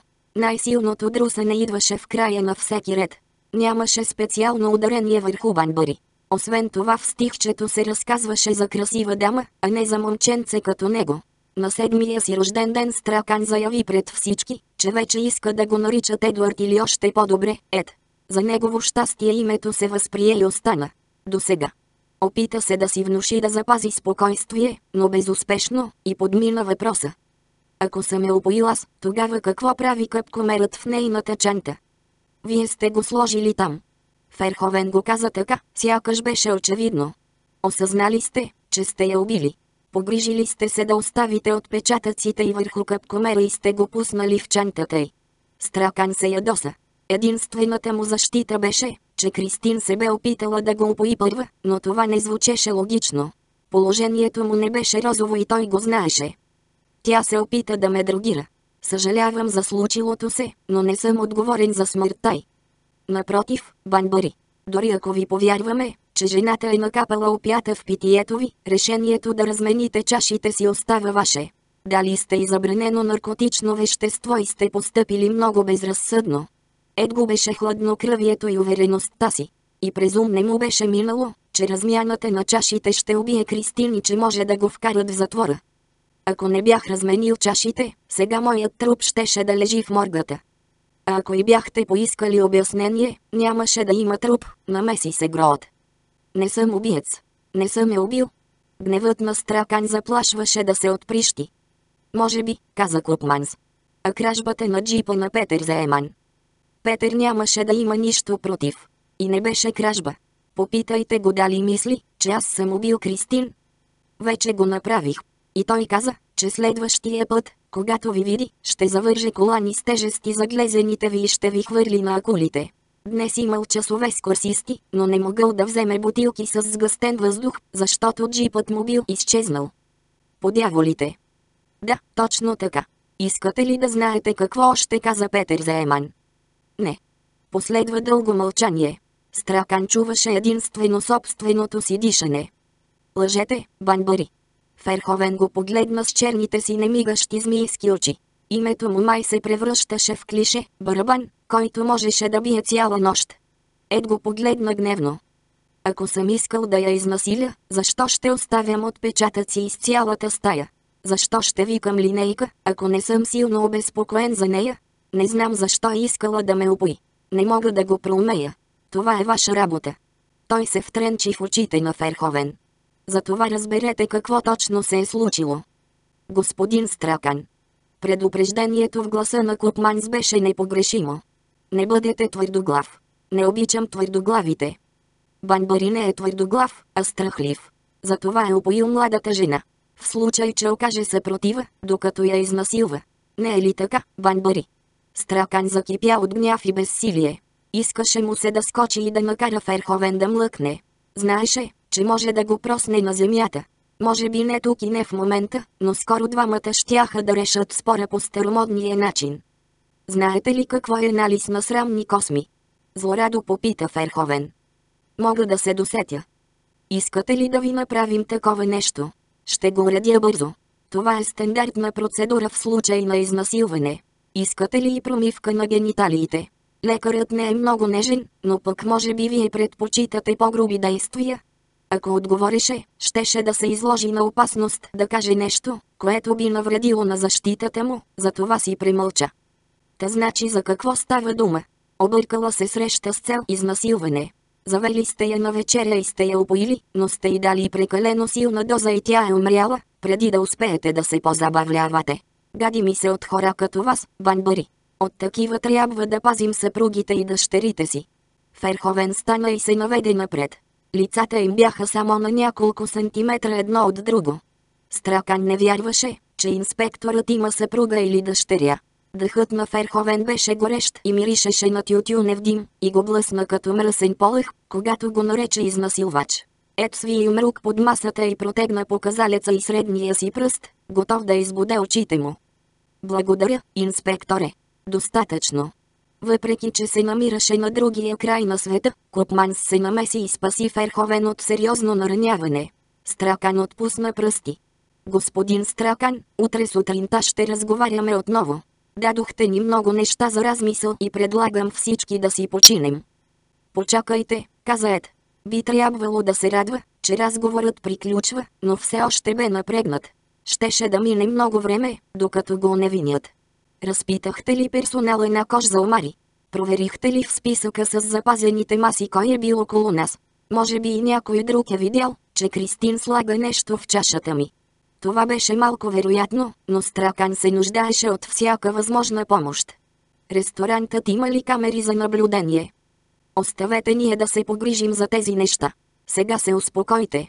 Имате предостатъчно неприятности и без да си създавате враг в лицето на инспектор Ферховен. Ед кимна. Обвинението срещу него беше недвусмислено и той разбираше защо. Всички доказателства сочеха към среща с цел изнасилване. Беше умряла млада жена и ченгетата търсеха кого да обесят. Адреналинът поддържаше силите му, но сега, след като разпитът приключваше, Стракан изведнъж осъзна колко е изтощен. Въпросите сигурно щяха да продължат до безкрайност. Купманс имаше право за враждебното му отношение, което не му помагаше. Ед наблюдаваше екрана, запълнен от едрото тяло на Купманс. Главният инспектор се приближи до монитора и бялата му риза закри стаята отзад. Гроот натисна бутона на дистанционното и екранът в стая 13 угасна. Познавате ли главен инспектор Купманс? Попита Ферховен. Не съм го виждал лично, но го знам. Ферховен изсумтя. Очевидно не беше доволен от отговора. Все още изпитваше съмнения и може би дори завист, докато гледаше за подозрения, сякаш слънчевият загар на Стракан го свързваше по някакъв начин с инспектора от острова. Помислете върху онова, което ни казахте. Наспете се. Решете дали желаете да промените отговорите си. Утре ще говорим пак. Сега е 3 часа без 12 минути. Инспектор Рудгер Ферховен прекратява разговора. Той натисна стопа и лентата спря. Вече не ги записваха. Разговорът стана неофициален. 3 без 12. Прав ли съм в предположението си, че все още не сте ме обвинили в нищо? Ферховен се усмихна и кимна. Да, прав сте. И можете да ме държите само 6 часа. Стракан беше забелязал спасителен пояс и протягаше ръце към него. Точно така. И всеки момент ще трябва да ме пуснете. Грешка. Защо? Ами защото. Ферховен се втренчи в него, неизказано на глас обещание, че им предстои откровен разговор без свидетели, часовете между 12 и 9 сутринта не се броят. 9. Поведоха го по коридора, минаха през двойни стоманени врати и стигнаха до килиите. В едната тък му вкарваха някакъв пияница. Раздърпаните му дрехи и спластените коси го определяха като скитник от кариерата. Ето сети пърливата смрад на урината му от 15 метра. Роздал, полицаят, който беше направил списък на личните му вещи, го заведе до килията и тресна вратата. Ед се отпусна на желязното легло стънък бежов дюшек. Поне не му бяха сложили белезници. И не му бяха предявили обвинение, и не го бяха върнали на Кюрасао. Крайният срок наближаваше неумолимо и Стракан имаше по-важни задачи, отколкото да се сприятелява с колумбийски търговци на кокаин в затвора Бонфутуро. Стаята беше малка, но чиста, 4 на 5 метра, по-скоро килия за временно задържане, отколкото постоянен затвор. На тавана имаше неонова лампа. Нямаше прозорци. До пластмасовия легендо стената бяха сложени дървена маса и стол. Въгъла зад вратата имаше издраскан с графити зелен параван и туалетна чиния. Скрити от чужди погледи, някои задържани явно го бяха използвали, за да изразят презрението си към холандските закони. Почеркът им беше разкривен и детински. При нормални обстоятелства Ед нямаше да може да заспи на подобно място. Светлината беше ослепително ярка, а и отвън постоянно се тряскаха врати, прелитаха ревящи самолети и се чуваше кучешки лай. Обстоятелствата обаче не бяха нормални. През последното денонощие беше пътувал 9 часа, бяха го арестували, бяха го разпитвали, бяха конфискували единствения му източник на доходи и бе видял човек да умира от смъртоносна свръхдоза. Така че след няколко минути заспа. Отначало беше прекалено уморен, за да сънува, но по-късно разпозна големия корал, отбелязващ началото на рифа край Пойнт Найф. Видимостта беше добра. 20 на метра. На добраслите с водорасли скали заедно с течението се въртеше ято морски дяволи. Вдясно морска костенурка захапа клонка мъртъв корал с праисторическата си уста. Вляво рифът рязко се спускаше надолу и изчезваше в синьо-сивата бездна на откритото море. Мехурчетата изразходван въздух бълбукаха в ушите му. Далечен трясък извести, че Петър го следва с гребна лодка и изпраща съобщение по стоманения и корпус. Посланието по морзовата азбука казваше на Стракан да се маха. Петър беше видял Ферховен да влиза с харпун във водата. И полицаят се приближаваше бързо. Ед зарите усилено. Плавниците го изтласкваха към прикритието на големите скали. Морските дяволи се пръснаха като искри от оксижен, докато минаваше през тях. Не беше подготвен за онова, което видя, и на устникът падна от устата му. По течението се носеше Кристин Молино. Отначало Стракан помисли, че е мъртва, защото не помръдваше и голото и тяло изглеждаше вкоченено, но после видя мехурчетата, излизащи от устата й. Заплува към нея, за да й помогне, и протегна ръка към резервния наустник. Готвеше се да го пъхне в устата й, но когато го провери, установи, че въздухът се е свършил. Почука по уреда за измерване на налягането. Стрелката остана на червено. Той всмукна силно и после още веднъж, но не стана нищо. Гумата опря в гума и клапата тихо изтрака. Бутилката с сгъстен въздух беше празна. Не можеше да се устреми към повърхността, без да рискува последиците от кесонната болест. Кристин беше единственият му шанс за оцеляване. Стракан стисна главата и долепи уста до нейната, за да напълни белите си дробове с издишвания от нея въздух. Дъхът ти беше горчив и сипкав като тебеширен прах. Догади му се и той я блъсна. Очите й се изцъклиха. Лицето й бе смаслинено зеления оттенък на съживен с магия мъртвец. Раменете й бяха хлъзгави и слузести, водораслите вече бяха предявили претенции към тълпай. Косите й се диплеха зад нея, развяваха се на течението като черно знаме. Риби гризяха пръстите на краката й. Малка зеленушка подръпваше кожата и кръвта й се процеждаше като зелено мастило. Мозъкът му неистово искаше кислород. Стракан се вгледа в мехурчетата, излизащи от устата на Кристин, и видя, че не са мехурчета, а капки прозрачна безцветна течност. Отрова. И в същия миг тя оживя. Сграбчи главата му точно както той бе направил преди минута. Движението й го изненада и ето пита да се отскубне, но пръстите й притискаха слепо очията му като мендиме. Кристин шепнеше нещо. Той се помъчи да се освободи, но хватката й беше прекалено силна. Ухото му беше до устните и страка ясно чудомите й. Да танцуваме? Събуди се, скочи от леглото и разтърка очи. Усещаше как хищните ногти на главоболието се впиват в мозъка му. Някой беше влизал в килията, докато бе спал, и бе оставил на масата закуска, хляб, конфитюр и вода. Етя изяде бързо и макар че беше оскъдна, храната заради организма му с захарта, от която толкова много се нуждаеше. Отново беше изгубил представа за времето, но сигурно беше някъде рано преди обяд, когато агент Гроуд дойде в килията, отвори вратата, застана на прага и сложи ръце на кръста си. Изненадан съм, Банбари. Здравата сте загазили, а седите толкова спокойно. Гласът му прозвуча весело. Гърлената му интонация беше станала по-напевна. Вероятно най-после беше пинал бира и бе хапнал сирене.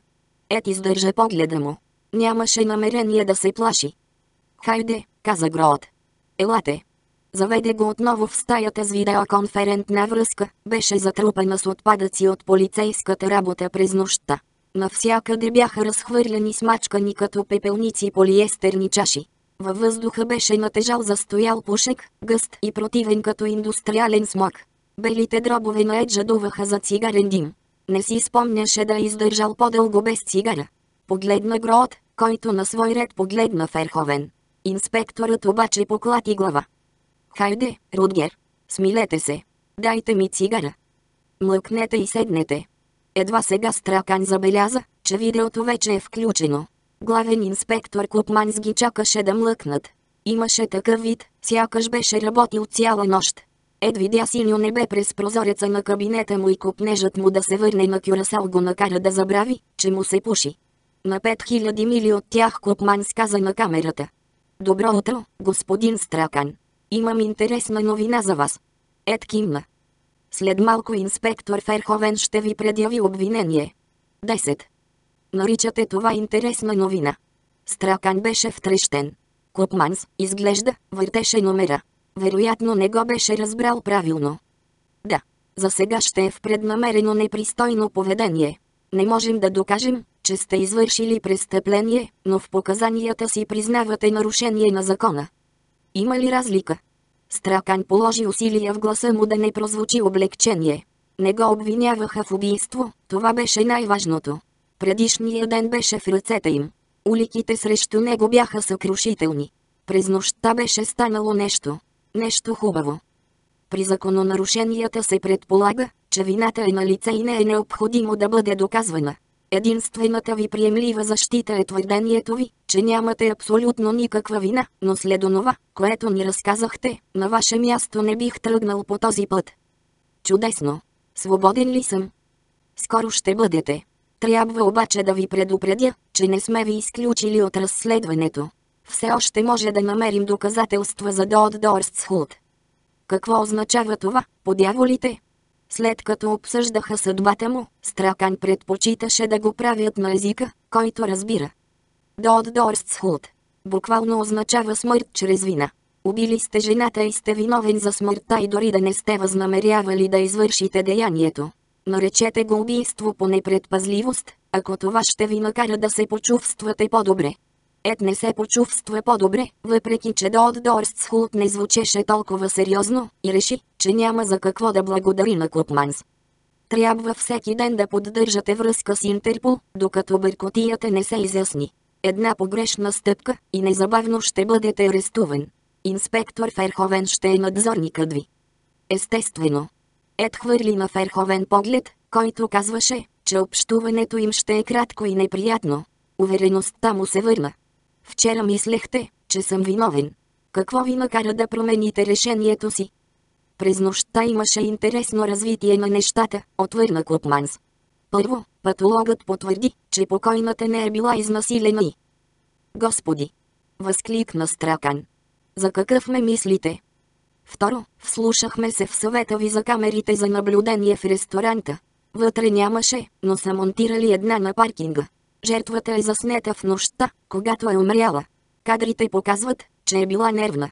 Припряно търси нещо в чантата си и го изпуска в обхвата на камерата. Записът не е достатъчно ясен, но предметът прилича на пластмасов къпкомер, отговарящ на описанието, което ни дадохте вчера. Ако разказът ви е истина, може да се смятате за късметлия, че сте разменили чашите.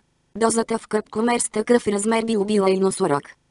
Подяволите, Ед не можа да измисли какво друго да каже. Оказваше се, че Кристин наистина се бе опитала да го убие. Информацията беше ужасна, но той реши да я обмисли по-късно. Нещо друго. Да, името на младата жена не е била Кристин Молино. Мамка му. Каза този път Стракани си спомни, че предишния ден ченгетата записаха припряно името й, когато го спомена. Това обясняваше озадачените погледи и шепота на холандски. Фалшиво име. Този факт беше в негова полза. Полицаите го бяха знаели от самото начало. Да, точно така. Купманс се ухили. Как е истинското име? Това не ви засяга, господин Стракан. Не ме засяга. Шегувате ли се? Тя се е опитала да ме убие. Не се шегувам. Защо да се шегувам с сериозни неща като евентуално убийство? Вас обаче ви интересува какво е наказанието за закононарушението, което сте извършили, нали така? Сърцето на Ед се сви. Последните няколко минути бяха страхотни. Но не искаше да преживява следващите. Може да ви върнем на Кюрасао и да ви предадем на съда. Ще се признаете за виновен в преднамерено непристойно поведение и ще получите 20 дни затвори малка глоба. Стракан отново не каза нищо, бе хипнотизиран от думата може. Но аз не желая да плащаме разходите за полета, нито да ви изпращаме в затвора. Поради някаква странна причина вярвам на разказа ви. Мисля, че сте постъпили глупаво, но не смятам, че сте искали да я убиете. Затова ще ви глобя и ще ви забраня да идвате на Кюрасао, докато разследването не приключи и невинността ви не бъде доказана извън всякакво съмнение. Пък и в момента в затворите тук няма място за вас. Стракан знаеше защо. Затворите на острова бяха пълни с търговци на наркотици. През намиращата се само на 60 мили Южна Америка и Кюрасао минаваха главните маршрути за контрабанда към Европа. Арестите се отрояваха през всяка от последните три години, докато картелите разширяваха мрежата си. Местните вестници бяха пълни с репортажи на тази тема. Колко е глобата? Попита той. Хиляда долара. Хиляда долара. Дъхът на Ед секна. Трудно щеше да намери толкова пари. Кога трябва да платя?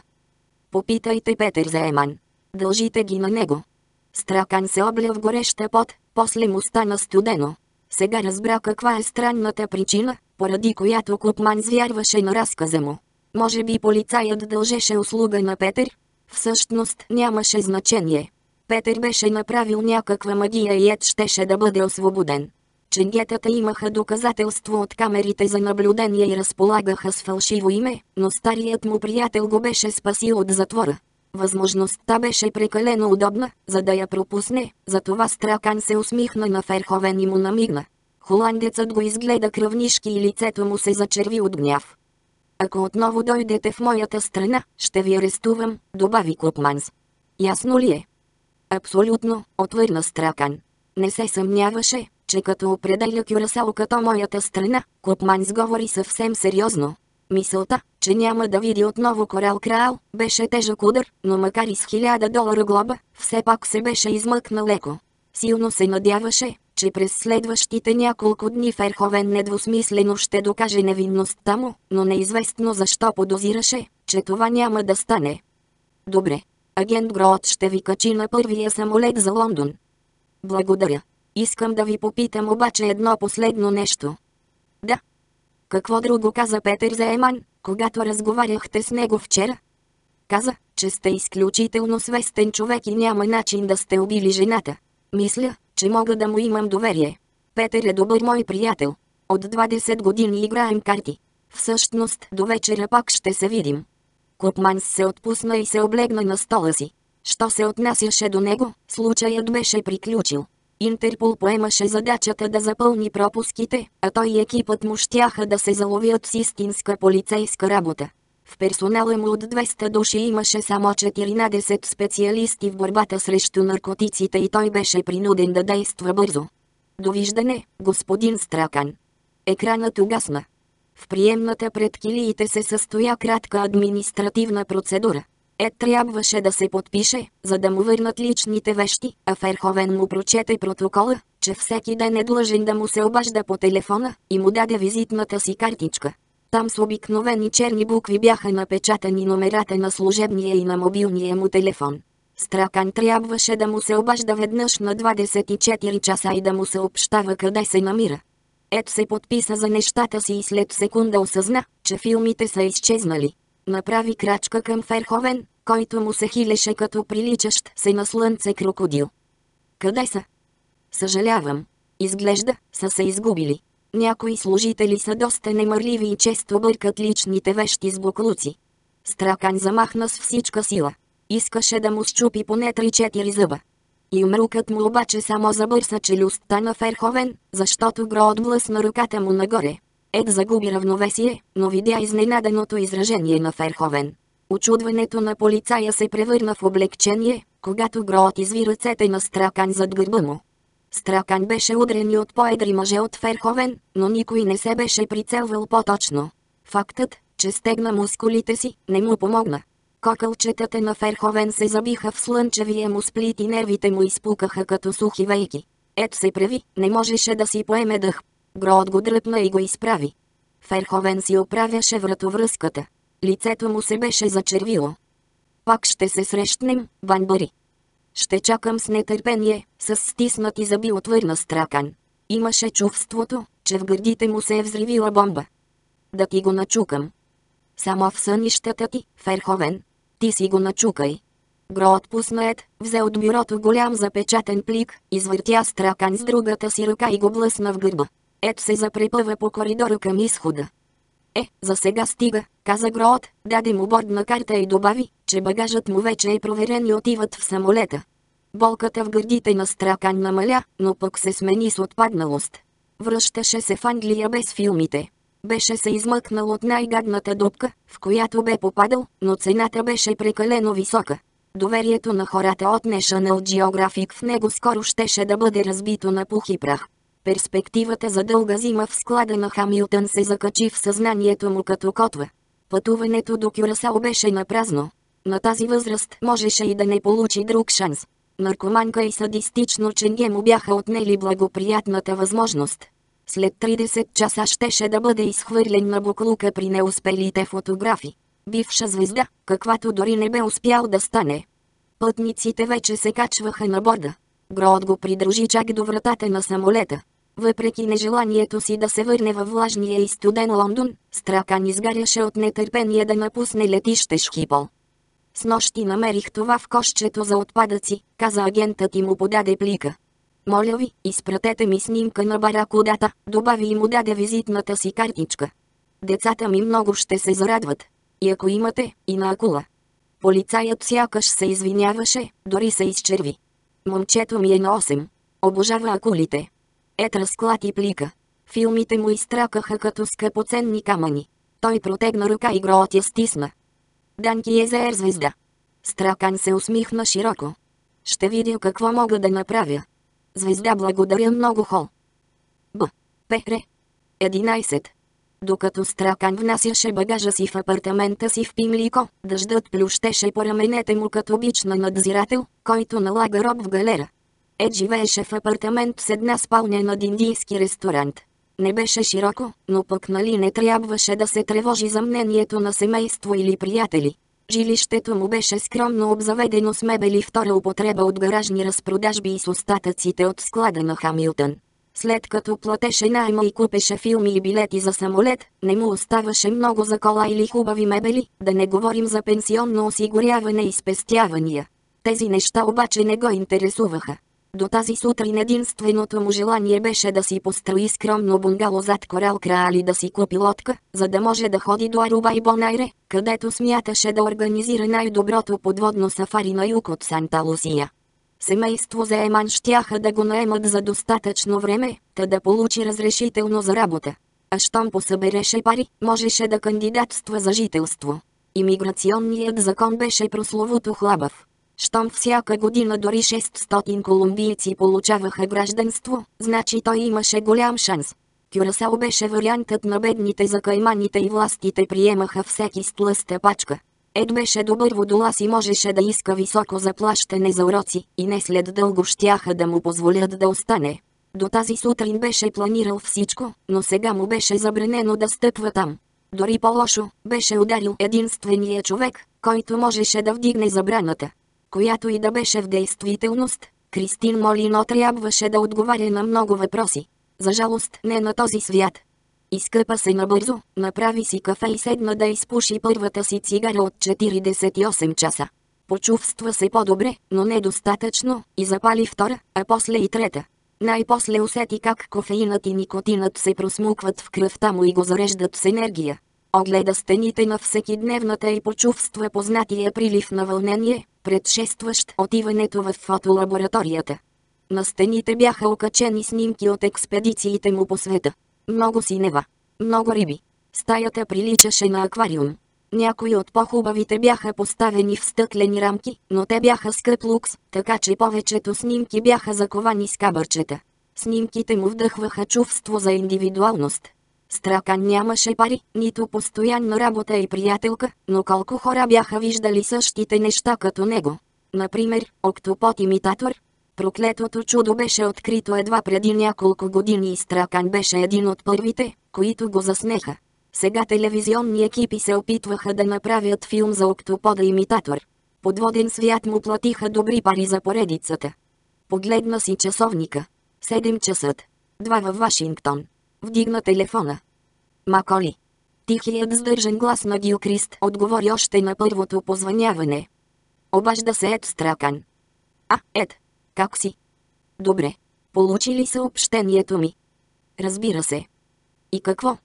Няма да стане, приятелю. Ако снимките не са тук утре по това време, ще дадем всичко на Билтанър. Билтанър беше канадец, ветеран и единственият останал на постоянна работа в National Geographic подводен фотограф. Беше добър, но Стракан беше по-добър. Танър правеше просто снимки на дивата природа, а фотографиите на Ед бяха изкуство. Престани, Маколи. Знаеш какво мога да правя. Снимките от Кюрасао са най-хубавите ми досега. В такъв случай може да ги използваме до година. Съжалявам, Ед. Сериозно. Знам колко усилия полагаш, но не мога да бавя печатницата. Ако изпратиш негативите до обяд, ще можем да ги отпечатаме. Всичко е готово и ще ми отнеме само час да избера онези, които ми харесат. Не трябваше да оставяш нещата за последната минута. Разполагаше с няколко месеца, по дяволите. Диокрист прекъсна тирадата си, за да каже на секретарката си да изчака с обаждането по другата линия. После гласът му омекна. Утре сутринта ги изпрати с първия самолет, излитащ от Хитроу. Би трябвало да имаш достатъчно време. Часовата разлика е в твоя полза. Стракан се усмихна. Работата му щеше да стане много по-лесна, когато можеше да си позволи да си купи хубав дигитален фотоапарат. Тогава щеше да прехвърля образите в компютър и да ги изпраща в щатите по електронната поща. Диокрист обаче имаше право, той все още имаше шанс да спази крайния срок. Ед. Да. Нали разбираш нещо? Какво? Не мога да ти платя разходите, ако не получа снимките. Да, знам. Исках да говорим за... Ед. Да. Не съм затворил. А защо, по дяволите? Нямаш време да разговаряш с мен, момче. Затваряй. Утре ще се чуем пак. Благодаря, Маколи. Стракан грабна филмите и хукна навън. 12. Времето летеше. Желанието да отиде право в фотолабораторията беше силно, но Ед все още беше развълнуван от преживяването си на Кюрасао и потребността да види приятелско лице се оказа по-силна. Домът на Хамилтън на площад Сейнт Джордж му беше на пътя. Щеше да се отбие само за няколко минути, за да се обади на кръстника си, че се е върнал. Нямаше да споменава, че има неприятности, но тъй като след смъртта на родителите му Хамилтън го беше отгледал, най-малкото, което можеше да направи, беше да му каже здравей. Хамилтън беше ерген и живееше в голям апартамент от западната страна на площада. Сградата беше в класически стил от епохата на регентството и беше проектирана от Томас Кубит, основателя на могъщата компания Кубит, построила повечето сгради в лондонските квартали Мейфер и Белгрейвия през първата половина на 19 век. Апартаментът заемаше първия и втория етаж на пететажната къща. Като всички останали наоколо, сградата беше с бели колони отпред, високи прозорци и красив балкон с изглед към обществените градини. Камбаните на Свети Спасител биеха, типично английски звук. И в другите страни биеха камбани, но англичаните караха техните да пеят. Звуците се лееха, бистри като вода от разтопен сняг, стичаща се в коритото на планински поток. Ед се усмихна замислено. В Лондон съвсем не беше лошо и той знаеше, че е извадил късмет да израсне в богаташка част на града. Родителите му нямаха братя и сестри, затова ед нямаше лели, чичовци и войчовци, които да го осиновят след смъртта им. Баба му по бащина линия и дядо му по майчина бяха живи по време на нещастния случай, но старата дама живееше в Шотландия, а дядо му вече не шофираше, затова решиха, че ще е най-добре Стракан да живее при кръстника си. Виждаше дядо си и баба си през вакансиите, но цели 10 години негов дом беше апартаментът на Хамилтън. Ед изпитваше буря от противоречиви чувства. Винаги беше така, когато прекрачваше прага на тази къща. Все едно се завръщаше у дома, но това всъщност не беше дом, защото спомените му за истинския му дом бяха толкова неясни, че вече не беше сигурен дали са реални. Площад Сейнт Джордж му напомняше какъв късмет ли е, че има Хамилтън, но също и колко не му е провървяло, че се е нуждаел от него. От 8 до 18 му година стаята на втория етаж му беше служила за игри, любими занимания, учене, гимнастика и спалня. Там се беше смял и плакал и часове наред бе седял и гледал пълноводната темза, и после бе удрил стените, докато кокълчетата на пръстите му не се разкървавят. Това беше убежището му от света, но и килията му. Стракан позвани, Хамилтън натисна бутона да му отвори и го посрещна с протегната ръка на входа. Взаимоотношенията им бяха малко неловки. Хамилтън се беше оженил за кратко и после се беше развел, преди да има собствени деца, и това вероятно обясняваше защо понякога се чувства неудобно в ролята на осиновител. Никога не се прегръщаха. Ед, добре дошъл. Как вървят нещата? Беше с обичайните си кадифени панталони и карирана риза. Косата му беше сресана на път и пригладена и миришеше на боята, с която прикриваше възрастта си. Добре. А ти как си? Изглеждаш изненаден, че ме виждаш. Съвсем не. Чувствам се отлично. Влизай, влизай. Хамилтън говореше като училищен директор от 19 век, бавно и натъртено, сякаш активно възпираше напредъка на модерния живот. След като беше напуснал армията, бе станал търговец на антики и сега имаше галерия, склад и зала за търгове на километър и половина по Слоун Стрит. Не мога да остана дълго. Имам работа. По това време. Часът е едва 8. Да, наистина. 8. Време е за малцово иски. Покани го в всекидневната и после отиде в кухнята да приготви питиетата. Купуваше само Глен Родърс от Мери Брадърс от из годините Стракан беше започнал да харесва това уиски. Докато чакаше кръстникът му да се върне, огледа стаята. Не преставаше да се изумява от вкуса на Хамилтън. Апартаментът му приличаше на пещерата на Аладин, само че с мебели от махагон, виетнамско изкуство и изящни чаши от китайски порцелан. На пода бяха постлани персийски килими, а над камината беше окачено голямо огледало в стил барок. В спалнята на Стракан сега имаше пяно Себастиен Ерард. В коридора стоеше на пост еднометрова мраморна статуя на Ахил от Джамболоня, гордостта и радостта на Хамилтън. Въпреки че колекцията беше събрана от три континента и безброй различни периоди, ансамбълът беше идеално балансиран. Нямаше свободно място, но всичко беше подредено с военна прецизност. Как беше на Кюрасао? Хамилтън се появи задет. Държеше кристални чаши. Все същото. Как върви бизнесът? В момента не много добре. Лятото не беше оживено. Продажбите намаляха. Съжалявам. Стракан забеляза, че кръстникът му гледа копчето за ръкавели на врата му. Какво има? Кажи ми, носиш ли това нещо, когато се гмуркаш? Седнаха на креслата. Винаги. Никога не го махам. Хубаво. Защо питаш? Просто така.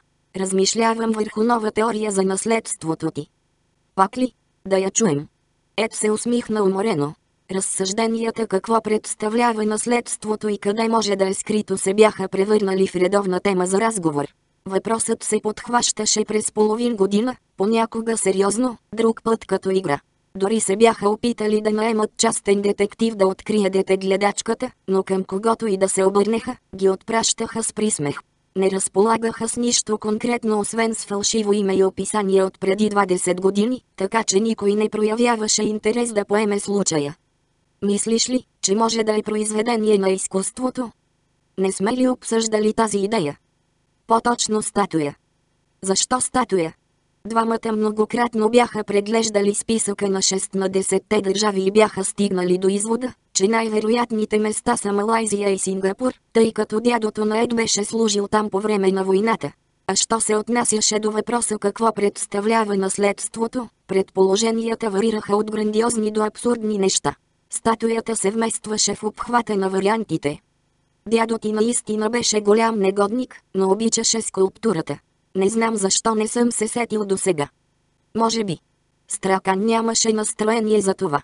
Мислеше само за календари на National Geographic. Хамилтън го погледна нервно, очакваше реакция. Не знам. Какво искаш да направя? Да скоча от креслото и да ти кажа, че си прав? Ед ще разбере. Какво мислиш, че е искал да каже баща ти с тези думи? Нямам представа. Ти си бил там, не аз. Има ли нещо, което не ми казваш? Стракан го погледна озадачено. Това беше наистина странно. Все пак двамата бяха обсъждали този въпрос хиляди пъти. Не.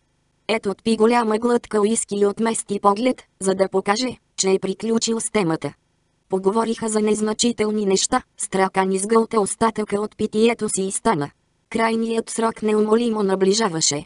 Той се почувства виновен, че няма да остане по-дълго, и безмълвно се закле при следващата удобна възможност да прекара повече време с Хамилтън. Кръстникът му беше положил доблестни усилия да му даде добро възпитание и образование и заслужаваше повече от едно кратко посещение. Продължавам ли да работя в склада?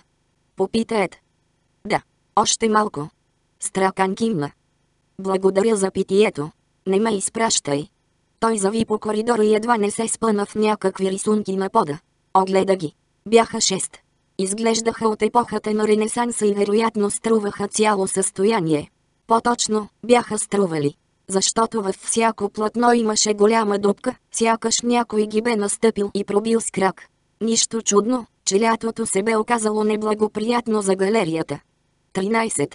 Фотолабораторията се намираше в един сутерен срещу сградата на Peabody Trust.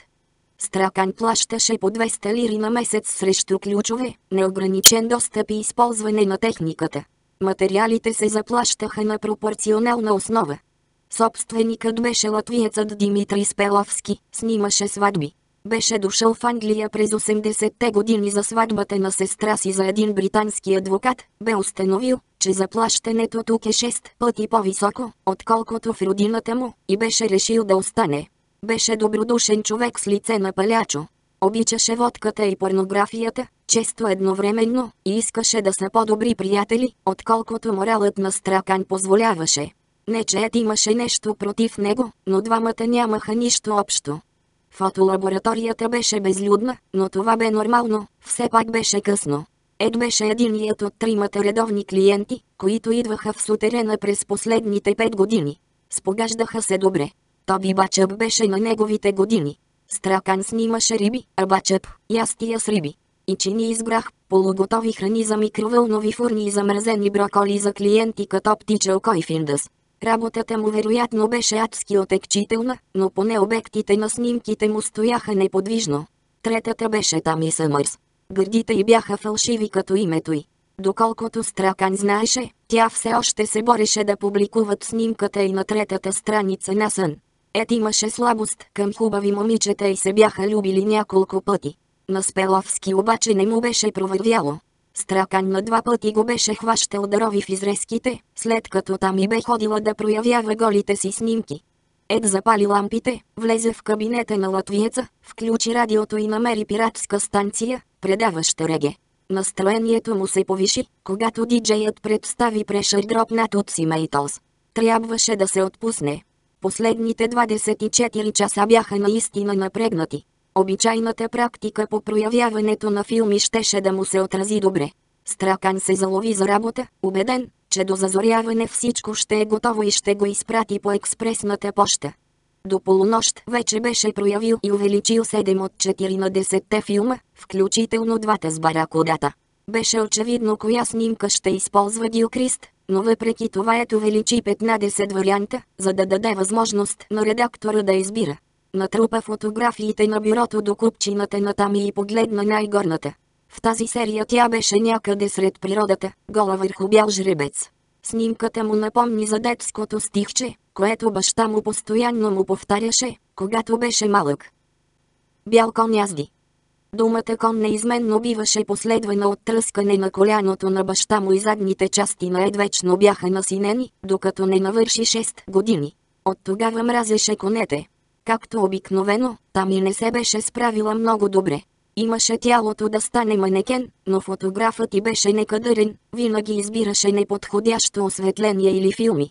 Снимките изглеждаха долнопробни, а не еротични. Стракан само поклати глава. Зачака водата да заври и запали цигара. Докато си правеше кафе, мислите му се върнаха към Кристин Молино. Петър Заеман беше приятел на Купманс, така че можеше да разбере какво е истинското име. Ед не беше сигурен какво ще прави с информацията, ако я получи, но фактът, че не го знае, възбуди любопитството му. Ако разбереше коя е тя, може би щеше да си обясни защо се беше опитала да го упои. Това можеше да му помогне да докаже невинността си пред Ферховен и после да му разрешат отново да отиде на Кюрасао. Определено си заслужаваше да опита. Достъпът до кабинета на Спеловски беше забранен, но редовните клиенти го използваха. Стракан включи компютъра и изпрати съобщение до Корал Крал. Ако не бяха отишли на нощно гмуркане, Петър и Маги щяха да го прочетат веднага, винаги проверяваха електронната си поща, преди да си легнат. Ед пишеше бързо, без да си прави труда да поправи грешките. Благодари на Петър, че е платил глобата му и го е представил в добра светлина пред Купманс и отново се извини, че е взел джипа, без да помоли за разрешение. А след това поиска услуга, истинското име на Кристин Молино. Предложи Петър да разговаря с главния инспектор следващия път, когато играят карти. Изпрати поздрави на маги и добави, че до година ще намери начин да ги види, независимо от забраната. До 4 часа прояви останалите снимки, направени през седмицата, прекарана на Карибите, и отдели 25 от най-хубавите. Дилкрист щеше да избере две от тях. После направи две копия на баракудата за Роналд Гроот и намери една на акула за сина му.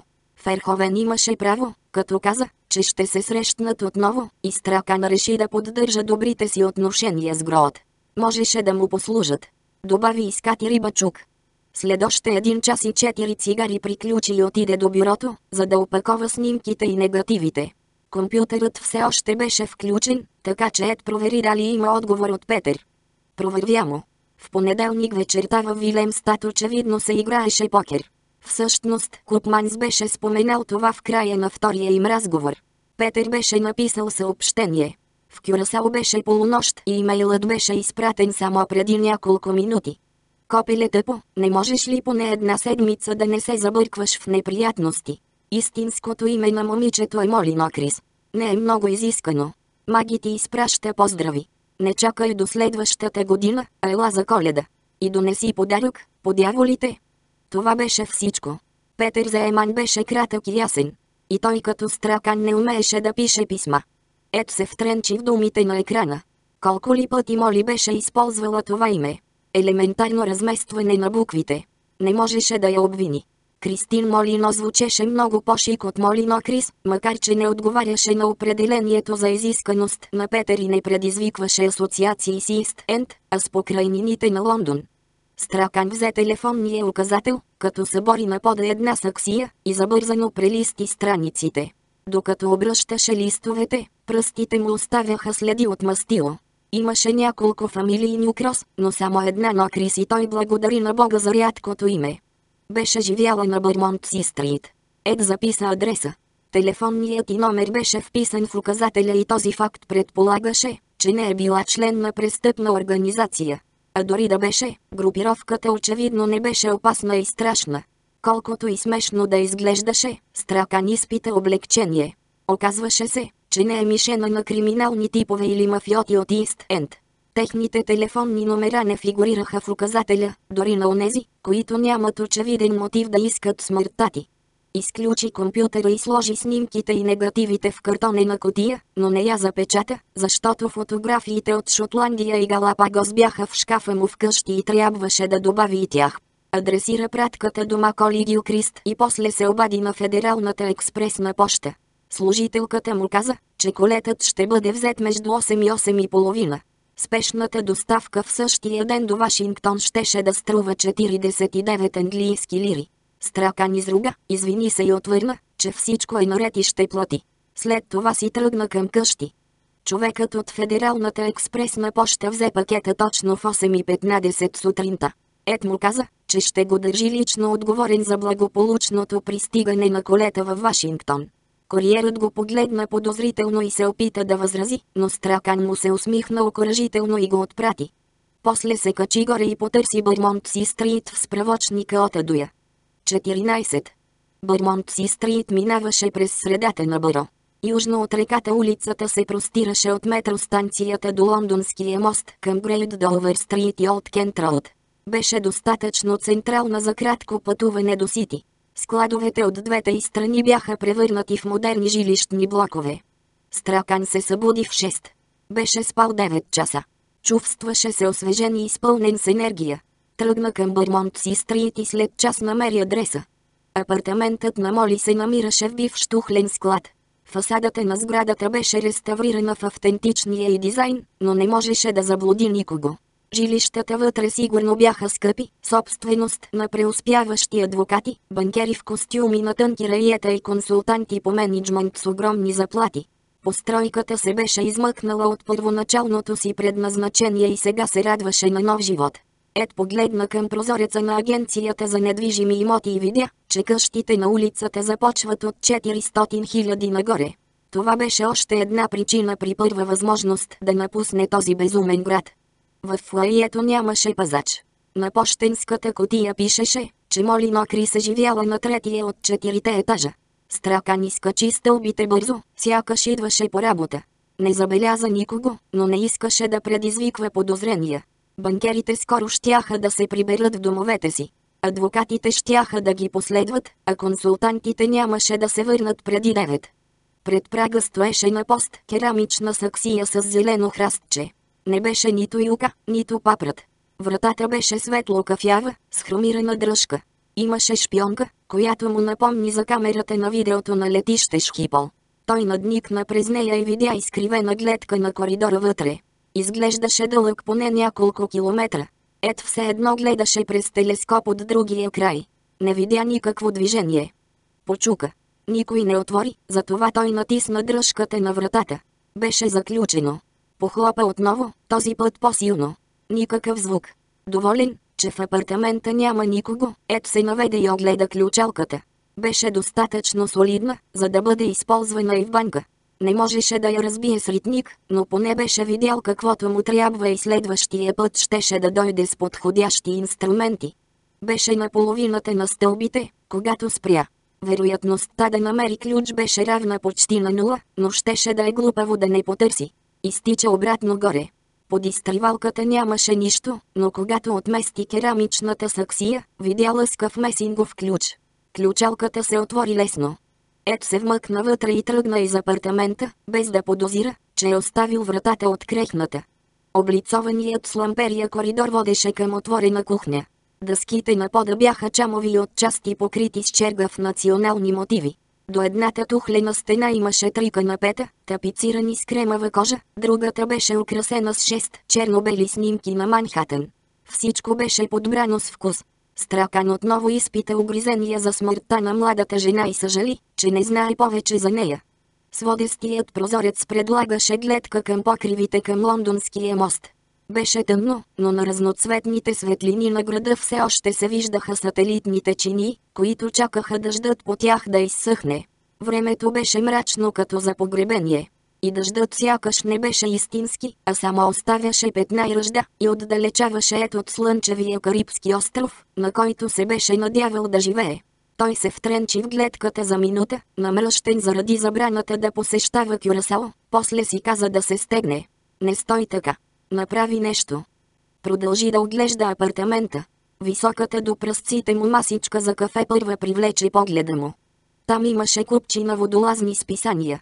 Той мигновено позна най-горното, брой на подводен свят, където беше публикувана поредицата му за октопода имитатор. Ед го взе и тък му да го отвори, когато осъзна, че и следващото списание му е познато, старо издание на наръба, където на централно място бяха отпечатани снимките му на акули по крайбрежието на Занзибар. На корицата на третото бяха морските видричи и скрачи, които му бяха донесли награда. Плуваха по гръб и махаха черупките на стриди. На фона пламтяха кехлибарените върхове на брега на Ванкувър. Беше ги снимал наполовина под водата и наполовина над повърхността и фотографията наистина бе страхотна. Прерови останалото в купчината. На масичката имаше само списания с негови снимки. Изпита гордост и отново насочи вниманието си към подводен свят. Прелисти страниците и намери фотографията на октопода имитатор. Онова обаче, което видя там, го накара да седне на кремавото канапе и да изругае. 15. В началото на статията имаше негова черно-бяла снимка. Беше се изтегнал на един шезлонг и беше сложил ръце зад главата си. Спомняше си я добре. Бе го снимало едно от момчетата на лодката. Сребърното копче на веришката на врата му се виждаше ясно. И Молино Крис го беше оградила с червен фломастер. Стракан прегледа останалите списания и видя, че във всичките пише за него. Към повечето репортажи бяха приложени снимки на лицето му, взети предимно от паспорта му. Преброи пет фотографии, на които се виждаше вратът му. И на петте копчето за рукавели беше оградено в червено. Една част от загадката беше разкрита. Ед все още нямаше представа коя е била Моли, но поне вече знаеше какво е искала. Копчето за рукавели. Хрумна му, че другото е в нея. Едното не вършеше работа и оградените в червено снимки показваха, че тя е знаела за съществуването на другото. Точно както Стракан подозираше, двете копчета водеха към нещо изключително ценно. Нещо, за което си заслужаваше да опоиш някого. И да убиеш. Зае се да претърси апартамента по-внимателно. Второто копче беше някъде тук. Усещаше го. Години наред се беше забавлявал с идеята за скрито съкровище. По-късно, когато порасна, фантазията загуби обаянието си. Едното копче беше непотребно без другото. Накрая се примири с факта, че местонахождението му ще остане загадка. Ако някога имаше дете, щеше да му даде копчето, както бе направил баща му. В съзнанието му нахлуха спомени. Той започна да преравя чекмеджетата на Моли. Докато преравяше спалнята й, чу шум зад гърба си, но реагира твърде бавно. Не мърдай. Сърцето му пропусна един удар. Гласът беше женски, треперещ, но агресивен и с акцент от Ист Енд като на Моли. Горе ръцете. Стракан се подчини. Ако се съдеше по гласа, жената беше на години. Кой си ти? Не се обръща или ще стрелям. Приятел съм на Крис. На Моли. Как се казваш? Джон Смит. Първото елементарно име, за което се сети. Какво искаш? Жената неочаквано се разрида. Чух за смъртта на Моли. Не можах да повярвам, че е умряла. Исках да бъда до нея. Ед сам си се очуди колко лесно измисля лъжите. Обърни се. Не си сваляй ръцете. Стракан се обърна бавно, с вдигнати ръце. Жената стоеше на прага. Не беше ченге и нямаше пистолет. В дясната си ръка държеше мобилен телефон, а в лявата – малък флакон, вероятно нервно-паралитичен спрей. Набрала съм 999. Трябва само да натисна оки да се свържа. Тонът ти беше рязък и груб. Беше изчакала, за да се увери, че е в безопасност, преди да му каже да се обърне. Разстоянието между тях беше 3-4 метра. Жената наближаваше 60-те. Косата й беше разрошена, дори чорлава. Изглеждаше измъчена и неприветлива. По лицето й се стичаше грим от сълзите. Тя вкопчи пръсти в телефона и ги избърса с ръкав. Гримът се размаза и тя заприлича на измъчена изнемощяла панда. Дрехите й бяха обикновени и ефтини, сива вълнена пола, черни чорапи и стара синя блуза. Беше събула обувките си пред вратата, за да се промъкне безшумно. Въпреки изцапаното изгрим лице беше ясно коя е. Това беше майката на Моли и Стракан трябваше да изиграе картите си правилно. И в следващия миг се случи нещо много странно. Майката на Моли вдигна ръка и закри устата си. Лицето й пребледня като на призрак. Тя се разтрепери и сякаш всеки момент щеше да припадне. Той инстинктивно пристъпи към нея, за да я хване, но тя ужасена се дръпна. Господи! Жената поклати глава. Това си ти. И тогава страка не позна. Бръчките въгълчетата на присвитите й очи, когато го погледна изпитателно. Дори след 21 години нямаше съмнение коя е майката на Моли, но и жената, която му удари плесница в нощта, когато родителите му починаха. Злобната дете гледачка. Беше я намразил още щом прекрачи прага им. 16. Къде е копчето? Стракан направи още една крачка към нея. Теорията на Хамилтън се оказа вярна. Тя го беше откраднала. Не мърда или ще се обадя на полицията. Тя забеляза гнева в очите му и отстъпи към коридора. Ед нямаше намерение да я наранява. Дори когато работеше с крътците на изумруди в Малайзия, насилието срещу жени беше строго забранено, освен за водача на бандата Пили Паранг. Пък и телефонът и нервно-паралитичният спрей бяха оръжия, които не биваше да пренебрегва. Трябваше да внимава и да действа предпазливо.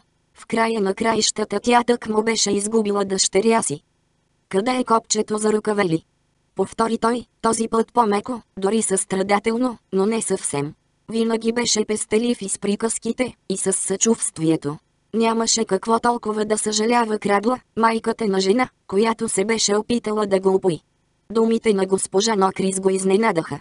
Тя не попита, какво копче? Нито каза, за какво говориш? Не е у мен, отговори. Дадох го. И с това разкри много повече, отколкото вероятно възнамеряваше. Думите й бяха признание за вина. Стракан изпробва предположението на Хамилтън и догадката му се оказа правилна. Тя беше откраднала второто копче в нощта, когато родителите му загинаха, а след 21 години дъщеря и се беше опитала да вземе другото. Обзеха го противоречиви чувства, гняв, облегчение и объркване. Ядоса се, че ако жената не беше откраднала копчето, той нямаше да се забърка в тази каша, и още по-важно, моли щеше да е жива. Изпита облегчение, защото тя можеше да изчисти името му от всякакви подозрения, че умишлено е причинил смъртта на Моли. Госпожа Нокрис можеше да му осигури алиби. Тя беше шансът му отново да отиде на Кюрасао. Ако успееше да я убеди да говори пред Купманс или Ферховен, тя можеше да обясни защо дъщеря и се е опитала да го упои. Първо обаче трябваше да се справи с объркването. Все едно подреждаше пъзъл. Имаше всички парченца, виждаше цветовете им, но още не ги беше подредил правилно.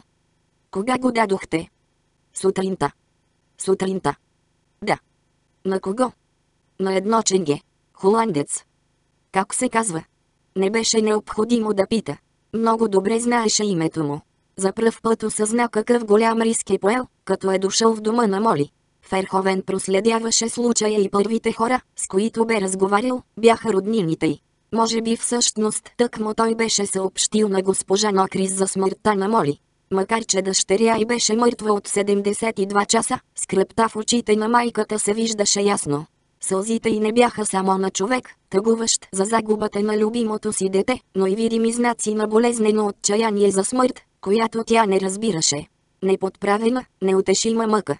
Вероятно беше научила вестта сутринта, а Стракан не се сещаше кой друг освен Рудгер Ферховен би могъл да я съобщи.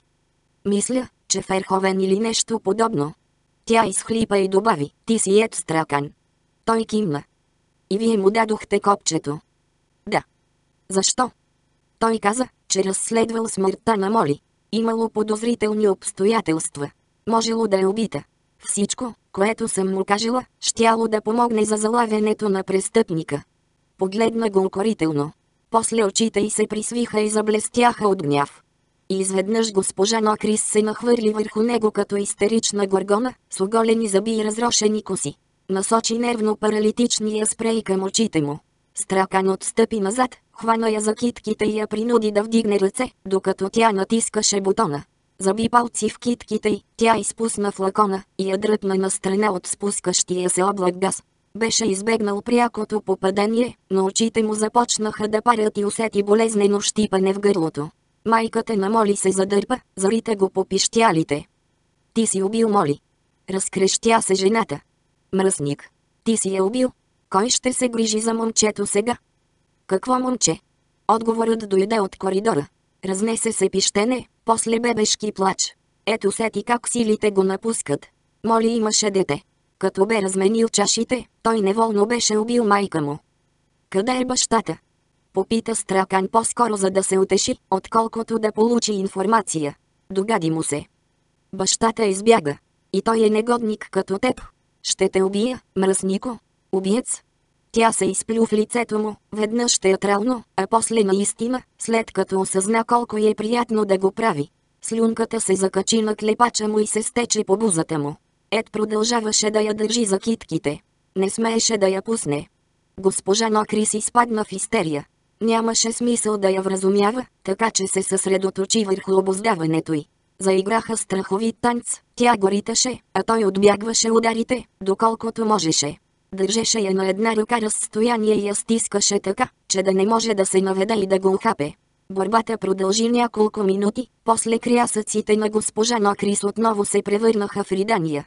Беше изтощена и физически, и емоционално. Ед също. Избута я към канапето. Тя се отпусна върху възглавниците, скри лицето си с ръце и се разплака неудържимо. Силите за съпротива я напуснаха. Стракан трябваше да каже нещо. Тя щеше да го чуе дори да не слушаше. Госпожо Нокрис, не съм убил Моли. Смъртта й беше нещастен случай. Тя се опита да ме опои. Аз само размених чашите. Не бих го направил, ако знаех, че в моята има такава голяма доза наркотик. Знам. Тя поклати глава, подсмръкна и кимна. Знаете. Инспекторът ми каза. Разменил си чашите, но той не ти вярва. Но вие ми вярвате, нали? Тя произнесе думата знам примирено, сякаш наистина знаеше, че е нещастен случай и не можеше да му припише смъртта на дъщеря си. Все едно бе знаела през цялото време. Какво друго каза инспекторът? Стракан трябваше да повиши тон, тъй като детето пищеше неистово. Попитаме дали съм чувала имената Банбари и Ед Стракан. И дали Моли ги е споменавала. Отвърнах, не. Кой е Ед Стракан? Той каза, че това е мъжът, с когото за последен път са видели Моли. Госпожа Нокрис говореше през пръстите си, приличаха на решетки, но бяха безнадеждно неспособни да задържат реката от мъка и страдание, изливаща се от дълбините на душата й. И после започна да ме разпитва дали Моли е употребявала наркотици, имала ли е неприятности с полицията и какво е правила на Кюрасао. Зададе ми страшно много въпроси, по дяволите. Истински питбул. Ед трябваше да я успокои и да я убеди да разсъждава трезво. Трябваше да е на нейна страна. Госпожо Нокрис. Мишел. Госпожо Нокрис, повтори Стракан. Не искаше да я нарича с малкото име. Това загатваше за близост, която му се струваше неуместна. Ще направя кафе, а после ще ми разкажете всичко, което знаете за копчето. Моли вече я няма. Не можете да я върнете. Най-добре е да признаете всичко и да оправите нещата. Вероятността за това беше малка, но Ед не можа да измисли друг начин да я накара да продължи да говори. Единствената друга възможност беше да я заплаши, че ще се обади да я арестуват за кражбата на второто копче преди толкова години. Предполагаше обаче, че изпечена стара крадла като Мишел Нокри се прекарала по-голямата част от живота си да помага на ченгетата в разследванията им. Явяването в съда едва ли би я стреснало. Пък и нямаше как да докаже кражбата. Ето защо реши да опита да я накара да говори. Стана и отиде в кухнята. Докато топлеше вода за кафето, наблюдаваше през рамо госпожа Нокрис. Тя отиде да вземе детето. Момченцето беше с черна коса и сини очи като на моли. Щом го гушнаха, спря да плаче, погледна баба си и се усмихна. В хладилника нямаше мляко, така че Ед направи кафето само с захар, силно и сладко, каквото го обичаше. Когато се върна при канапето, госпожа Нокрис изглеждаше много по-спокойна. Стракан седна и зачака. Виждаше, че е готова да говори. 17. Вие откраднахте копчето от баща ми. Кога? И защо? Цял живот крада, но никога големи неща, само дребни бижута. И пари от чантите и портфейлите на хората. И от сейфове. Да. Комбинациите на ключалките са моя специалност. Госпожа Нокрис успя да се усмихне през сълзи. С сейфа на баща ти беше трудно. Отне ми почти цял час. Защо откраднахте само едното копче? Намерих само едно. Повечето неща в сейфа не заслужаваха да ги откраднеш. Имаше само документи. На най-горната лавица видях синя кадифена кесия до изрезка от стар вестник. Веднага разбрах, че е нещо ценно, и я взех. Тя го погледна така, сякаш искаше извинение. Беше забравила предпазливостта си. Не беше властната, тиранична жена, за каквато я бе помислил, а жалка крадла, която цял живот се беше борила само за да стане причина за смъртта на дъщеря си. Не спомена за съпруг или за друго дете. Сигурно беше отгледала Моли сама, беше крала, за да свързва двата края. А сега дъщеря и беше мъртва. Наказанието беше много по-тежко от престъплението. Чудовищността на този факт беше отразена в неразбиращите очи. Второто копче беше във вестника. До първото, каза Ед. Ха, трябваше да се сетя. Баща ти ги е държал отделно. Много хитро. Едва ли. Продължавайте. Към 10 телефонът иззвъня. Обадиха се от полицията. Казаха ми, че се е случило нещо ужасно. Ще ли да дойдат заедно с кръстника ти, но не трябвало да те будя. Съжалявам, Стракан. Наистина. Той не беше сигурен дали се извинява за кражбата, или изказва съболезнованията си за смъртта на родителите му. Ако беше второто, не беше необходимо да си прави труда. Ед не искаше съчувствието й. Пък и бяха минали толкова години и се беше примирил с загубата им. Родителите му бяха отишли на вечеря и не се бяха върнали. Пиян шофьор ги беше блъснал на пешеходна пътека с 70 км в час. Колата беше Volkswagen Sirocco, ниска. Ударът ги беше изхвърлил нагоре и ги бе запратил на покрива и после на земята.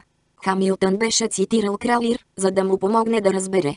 Каквото са мухите за децата, това сме ние, хората, за боговете, убиват ни, когато им е скучно, за развлечение. Звезда Стракан беше на 8 години и Шекспир изобщо не му помогна. С времето обаче често си спомняше този стих. Бавно, до сущ дълъг курс на лечение, думите примахнаха злокачествените клетки на скръпта му и накрая той започна да гледа на смъртта на родителите си като на жестока гавра на съдбата, нещо непредсказуемо и необяснимо. И в това намери достатъчно обяснение. Каквото са мухите за децата. Поне с непознати можеше да говори за загубата си с пълно безразличие. Звезда превод Валери Петров. Б. Пере. Замислих се дали да не върна кесията и да изчакам полицайите, но те идвали щяха да ме претърсят. Пък и вътре имаше бележка. Каква бележка? Ед се размърда на канапето, поглъщаше всяка нейна дума, напрегнат и нетърпелив като спринтьор на стартовата линия. Мишел Нокрис стана и отиде в спалнята на Моли. Върна се с прегъната почтенска картичка. Стара картичка, омекнала и пожълтяла по краищата. Подаде му я и той я грабна като хищна птица. И в годината 60-та, като събереш и двете, ще си струват пак среброто, но ще стигнеш до златото. Артър Стракан, Октомври 1945 година. Пощенската картичка трепереше в ръцете на Ед. Истина беше. Двете копчета за ръкавели заедно явно наистина водеха до ценно наследство. И картичката беше отлично доказателство за това. Прочете стихчето отново. Почеркът на дядо му беше красив и решителен.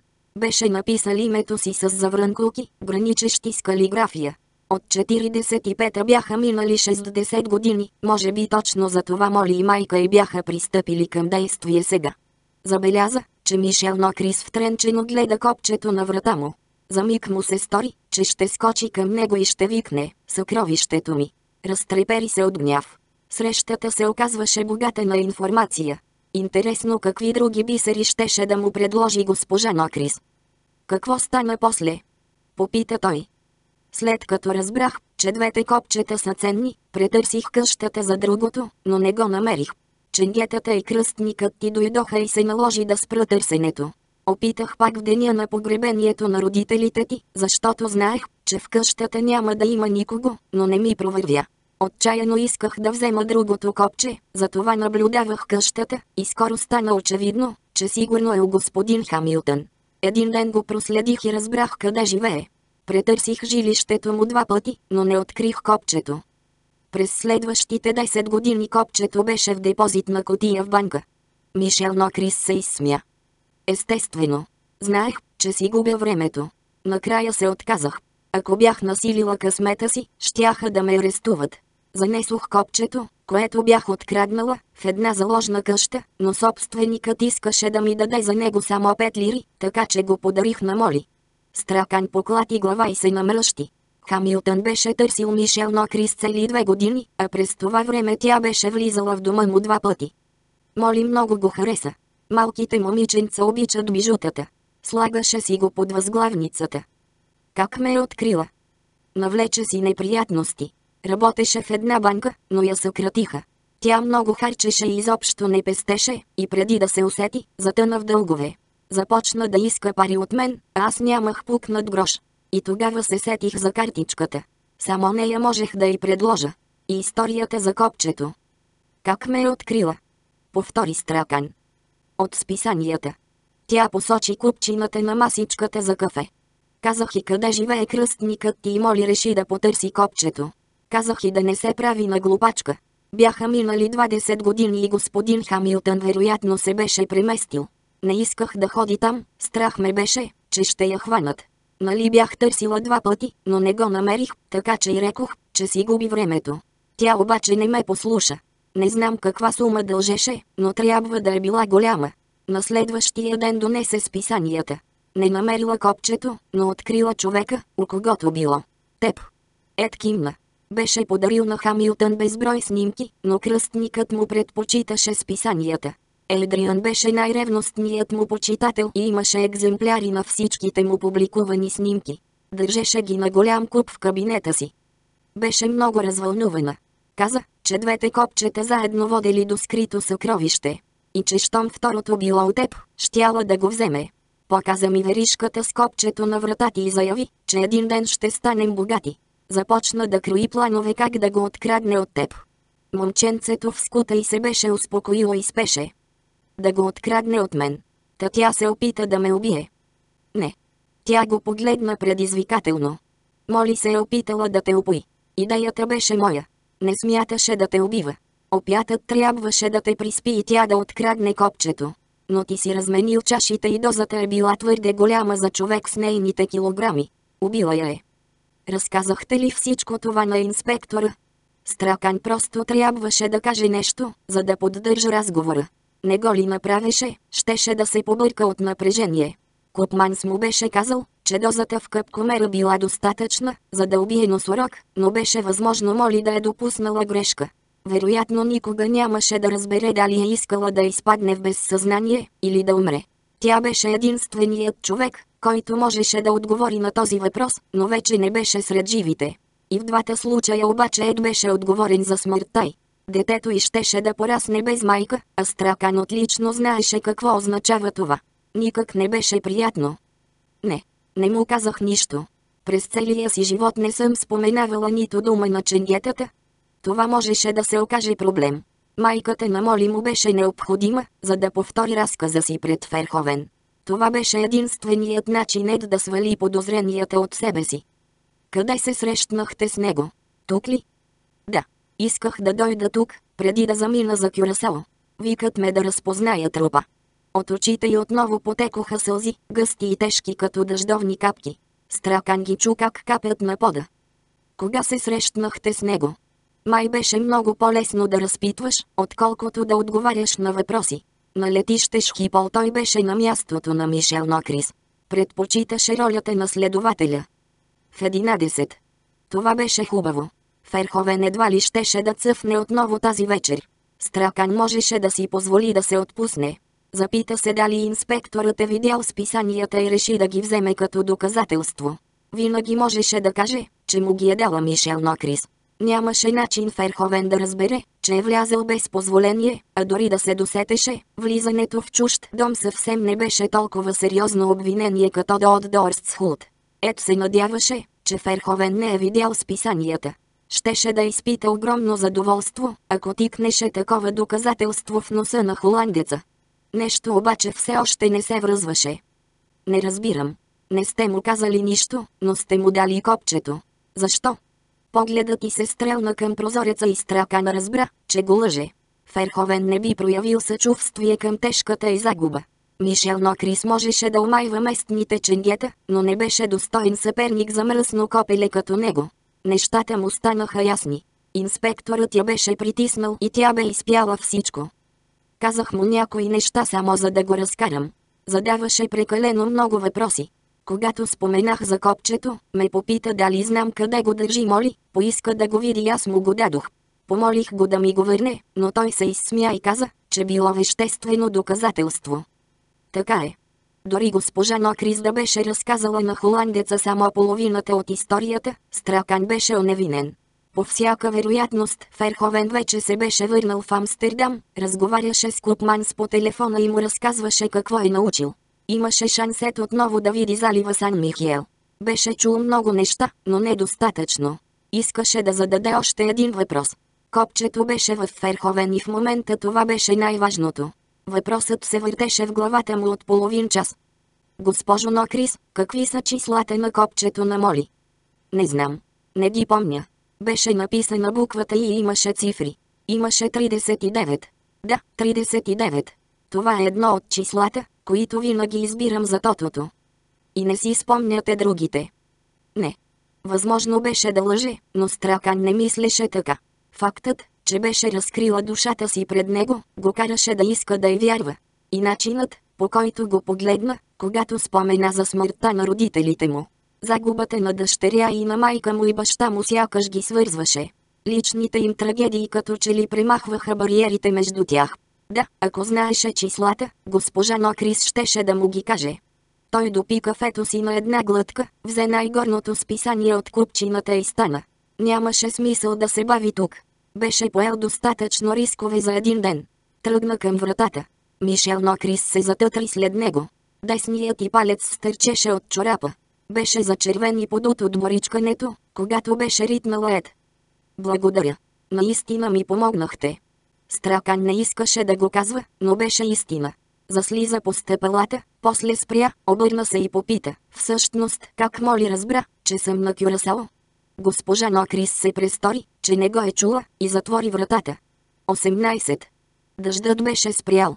Пронизващият вятър бе прогонил облаците и сега гонеше листата по улицата. Стракан пъхна ръце дълбоко в джобовете на якето си, прегърби рамене и тръгна. В Лондон беше 9 и половина вечерта, а в залива Сан Михиел, средата на следобеда. Слънцето грееше и моментът беше подходящ за плуване от въдрифа. Но в Англия беше късно и Стракан беше гладен. Върна се по лондонския мост, Канън Стрит, Куин Виктория Стрит и Ембанкмънт и продължи по Странт, знаеше, че там ще намери Макдоналдс. Дори по това време на вечерта заведението беше пълно. Клиентите се бяха натъпкали като в консерва, бореха се за пространство, блъскаха се за свободни места и се катереха един върху друг като раци в кофа. Страка не да е прав. От препълнения контейнер за отпадъци падна картонена чаша, тупна на пода до краката му и ги изпръска с бананов млечен шейк. Когато се гмуркаше, Ет ядеше много.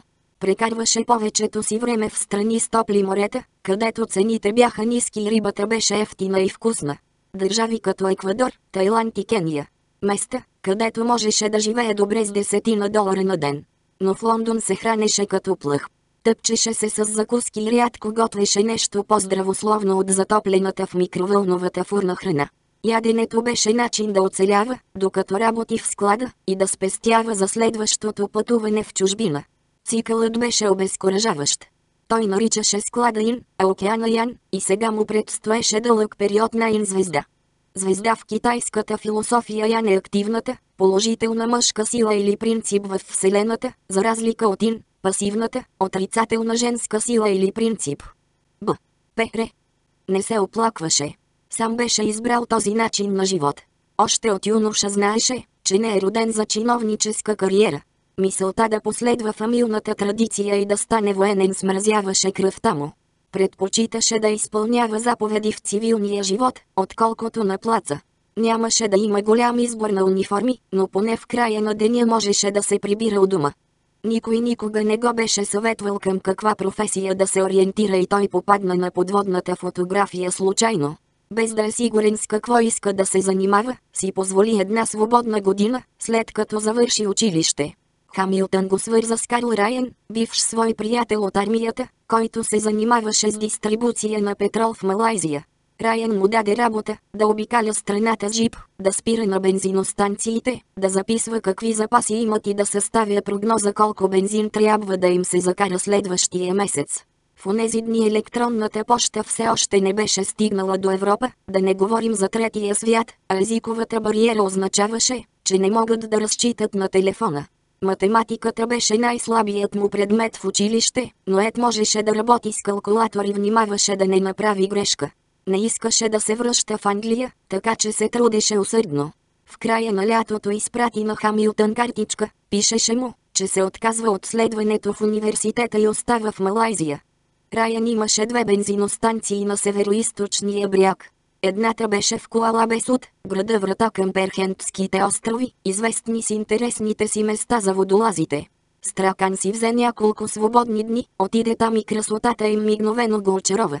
Спря да брои мурканията си след половин година, когато изкара курс по водно спасяване. Сега, след 11 години, бе пресметнал, че е прекарал под водата 4 месеца от живота си. В Малайзия се запозна с Руни и Пили Паранг. Тази страна заемаше особено място в живота му. Там започна кариерата си не само като подводен фотограф, но и като един от най-преуспяващите контрабандисти на изумруди в Юго-Источна Азия. Спомените му правиха компания дълго след като изяде бургера. Мина през Трафалгар, по край Уайтхол и парламента и стигна до Морпет Армс до Воксхол на време за последните поръчки. Във вторник кръчмата беше тиха и той остана само да изпие халба Гинес и да изгледа новините на телевизора зад бара. Там и не беше тук и това беше жалко. Стракан се бе надявал, че ще я намери. Тя имаше особената дарба да му помага да се отпуска в моменти като този. Продължаваше да се тревожи за крайния срок на National Geographic. Снимките му вече трябваше да са пристигнали. В противен случай до печатарските машини щяха застигнат фотографиите на Билтанър. Тръгна да се прибира. Знаеше, че кариерата му зависи от телефонното обаждане, което щеше да проведе. И тък му пъхаше ключа в ключалката, когато чу глас от мрака. Не беше забелязал някой да го следи, така че човекът, на когото принадлежеше, очевидно го беше чакал в входа. Гойде навонт, банбари. Холандски. Абе тия хора всичките ли ги болеше гърлото, те говореха така. 19. Стракан не се обърна. Нямаше желание да се занимава с Ферховен. Каниш ме да вляза. Много мило от твоя страна. Холандецът миришеше на алкохол, Ед го усети, макар че беше с гръб към него. Може би инспекторът го беше чакал в бара. Зачуди се какво да направи. Не можеше да откаже на така че свира мене и му позволи да го последва. Ферховен сложи ръка на рамото му и го блъсна, не силно, но достатъчно, за да го накара да залитне. Не се обади, банбари. Липсваше ми. Изкачиха се по стълбите. Ферховен беше прав. Стракан беше забравил, че трябва да му се обажда всеки ден. Не че това имаше значение. Инспекторът вършеше добра работа в проследяването на движенията му. Какво искаш, Рудгер? Ед най-после се обърна към него. Ферховен беше облечен в черно като агент на гестапо. Черни обувки, черни джинси, черно кожено манто и черни кожени ръкавици. Кожата му беше бледа от продължителното стоене в кръчмите. Беше възбуден и изгаряше от нетърпение да натрие носа на стракан. Дойдох да видя как си. И да разбера къде си бил тази вечер. Къде беше, Банбари? Влезе след него в апартамента. Ед съблече якето си и го хвърли на дивана. Отговори, че се е разхождал и после е отишъл да види един стар приятел. Холандецът обаче не слушаше, а разглеждаше снимките му. Беше запленен като дете, което за пръв път посещава аквариум. Особено го заинтригува една. Не можеше да отмести поглед от нея и Стракан трябваше да признае, че има вкус. Снимката беше на Зейналата остана скат, един от безобидните гиганти, обитаващи морския резерват Сангалаки по крайбрежието на Калимантан. Скатът плуваше право към Ед, очевидно забравил за фотоапарата. Устата му беше широко отворена. Рогата му изтласкваха планктона към хриле с големината на порта. Стракан можеше да се понесе право към гърлото му. На фотографията се виждаха само устата на ската и бледо синкаво сияние по краищата. В това се състоеше чарати, човек разбираше какво вижда едва след известно време. И така. Ферховен най-после откъсна очи от снимката. Вероятно беше разбрал защо Стракан реагира толкова остро на номера му с филмите. Защо не се обади? Забравих. Забравил си. Ами ако пак те арестувам и забравя да те освободя? Ед го остави да говори и да се забавлява. Ако искаше да обсъди нещо важно, Ферховен скоро щеше да престане да увърта. Разкажи ми нещо повече за копчето за ръкавели на врата ти. Стракан пак не отговори. Инспекторът знаеше всичко за копчетата. Беше разговарял с Мишел Нокрис. Тя му беше дала второто копче и бе попълнила празнотите, които Ед бе оставил на летище Шхипол. Нямаше смисъл да повтаря онова, което Ферховен вече знаеше. Копчето е едно от чифт, нали? Другото е било у Кристин Молино. Затова си е упоил. Холандецът събираше две и две и получаваше нула. Истинското име е Молино Крис. И тя се опита да ме упои, затова зарежи празните приказки. Другото копче не е било у нея на Кюрасао, както ти е известно. Майка и ти го е дала тази сутрин. Стракан хвърли на масата списанието, което беше взел от апартамента на Моли, за да подчертае думите си. Ферховен се изненада. Бе искал да запази предимството си, истинската самоличност на Кристин Молинов все още беше поверителна информация. Откъде знаеш истинското име? Купманс ли ти го каза? Не. Ед видя, че инспекторът иска да му каже повече, затова му предостави това удоволствие. Ферховен започна да нервничи, сякаш не можеше да реши дали да прекърши стракан физически или психически. Открил си майка й. Кога? Днес след обед? Както казах, бях на гости на стар приятел. Ферховен потърка ръце. Коравите кожени ръкавици изскърцаха. Трябва да ми дадеш твоето копче. То е важно веществено доказателство. Налага се да го конфискувам. Ако казваш истината, копчето ще свали подозренията от теб. Дай ми го, Банбари. Стракан се усмихна. Не беше упоил моли умишлено и Ферховен го знаеше. И вече разполагаше с достатъчно доказателства, за да приключи случая, така че причината за присъствието в дома му беше чисто лична. Може би Ферховен знаеше достатъчно от историята и искаше да търси наследството на Ед. Може би беше забравил координатите, които бе прочел, докато бяха на летище Шхипол. Може би копчето наистина му трябваше, за да приключи разследването. При всички случаи посещението му щеше да завърши по един начин. И ако Ферховен искаше да се бият, Стракан нямаше нищо против. Когато Ед беше 13 годишен, Хамилтън го изпрати да учи в колежа Братфилд, красиво старо държавно учебно заведение в Бъркшир. Баща му беше служил в армията 20 години и военните му отпуснаха щедра стипендия, която покриваше почти всички такси. Научното ниво беше средно, но условията за спортуване и басейнът бяха отлични и Стракан насочи по-голямата част от енергията си там. Запази част все пак, за да се научи да се бие. Смъртта на родителите му го накара да се затвори в себе си. Стана самотник. Беше сам срещу целия свят и светът трябваше да внимава беше събрал много гняв срещу начина, по който животът се беше отнесъл към него, и използваше опашките за обяд, спалните помещения и съблекалните, за да излива яростта си върху съучениците си. Обучението беше скъпо, заплатено с рани и синини. Обидеше ли го някой, Стракан не си правеше труда да го обсипе с ругътни, а просто го удряше. Ако другият отвърнеше, Ед се нахвърляше върху него, докато единият от двамата не паднеше на земята. През следващите пет години стана добър пловец и нямаше много момчета, изпитващи желание да се бият с него. Всъщност с удоволствие го отбягваха. Когато се бият, хората инстинктивно пазят главата, слабините и корема си, затова Ед бързо се научи да атакува на други места и се прицелваше в коленете, петите и пръстите. Разбра това, когато стана на 15. Най-важното беше да причини максимална болка за минимално време и да изтощи противника, та той да капне от умора и да не може повече да се отбранява. Стракан не беше кой знае колко едър, но беше въоръжен с безстрашие и беше готов да понася болка, стига да победи. На времето това означаваше много. Понякога му вършеше работа и сега. Директорът на колежа разбра какво става и заплаши, че ще го изключи. Каза му, че ако не се научи да сдържа гнева си, ще го изхвърли. Ето обсъди проблема с Хамилтън, чието решение беше идея, за която все още му беше благодарен. През вакансиите Хамилтън го пращаше на уроци по бойно изкуство в местната спортна зала с цел да се научи да се владее. Инструкторът беше израелец, бивш агент на Мосад, и го научи на крав мага. Повечето източни бойни изкуства включват и силен духовен елемент от дзен-будизма. Самоотбраната и схватките без оръжия са страничен продукт на хармоничните действия на тялото и ума. До насилие се прибягва само в крайен случай. Крав мага е нещо различно. Зародило се е на улиците на Братислава и по-късно е усъвършенствано от израелските сили за отбрана през 50-те години на 20 век. Крав мага набляга на простотата и ефективността и учи хората, които го практикуват, да реагират без колебание. Там където е уместно, това бойно изкуство ги учи и да засилват нивото на насилието, което срещат. Силите на реда го обожават. Стракан също го обожаваше.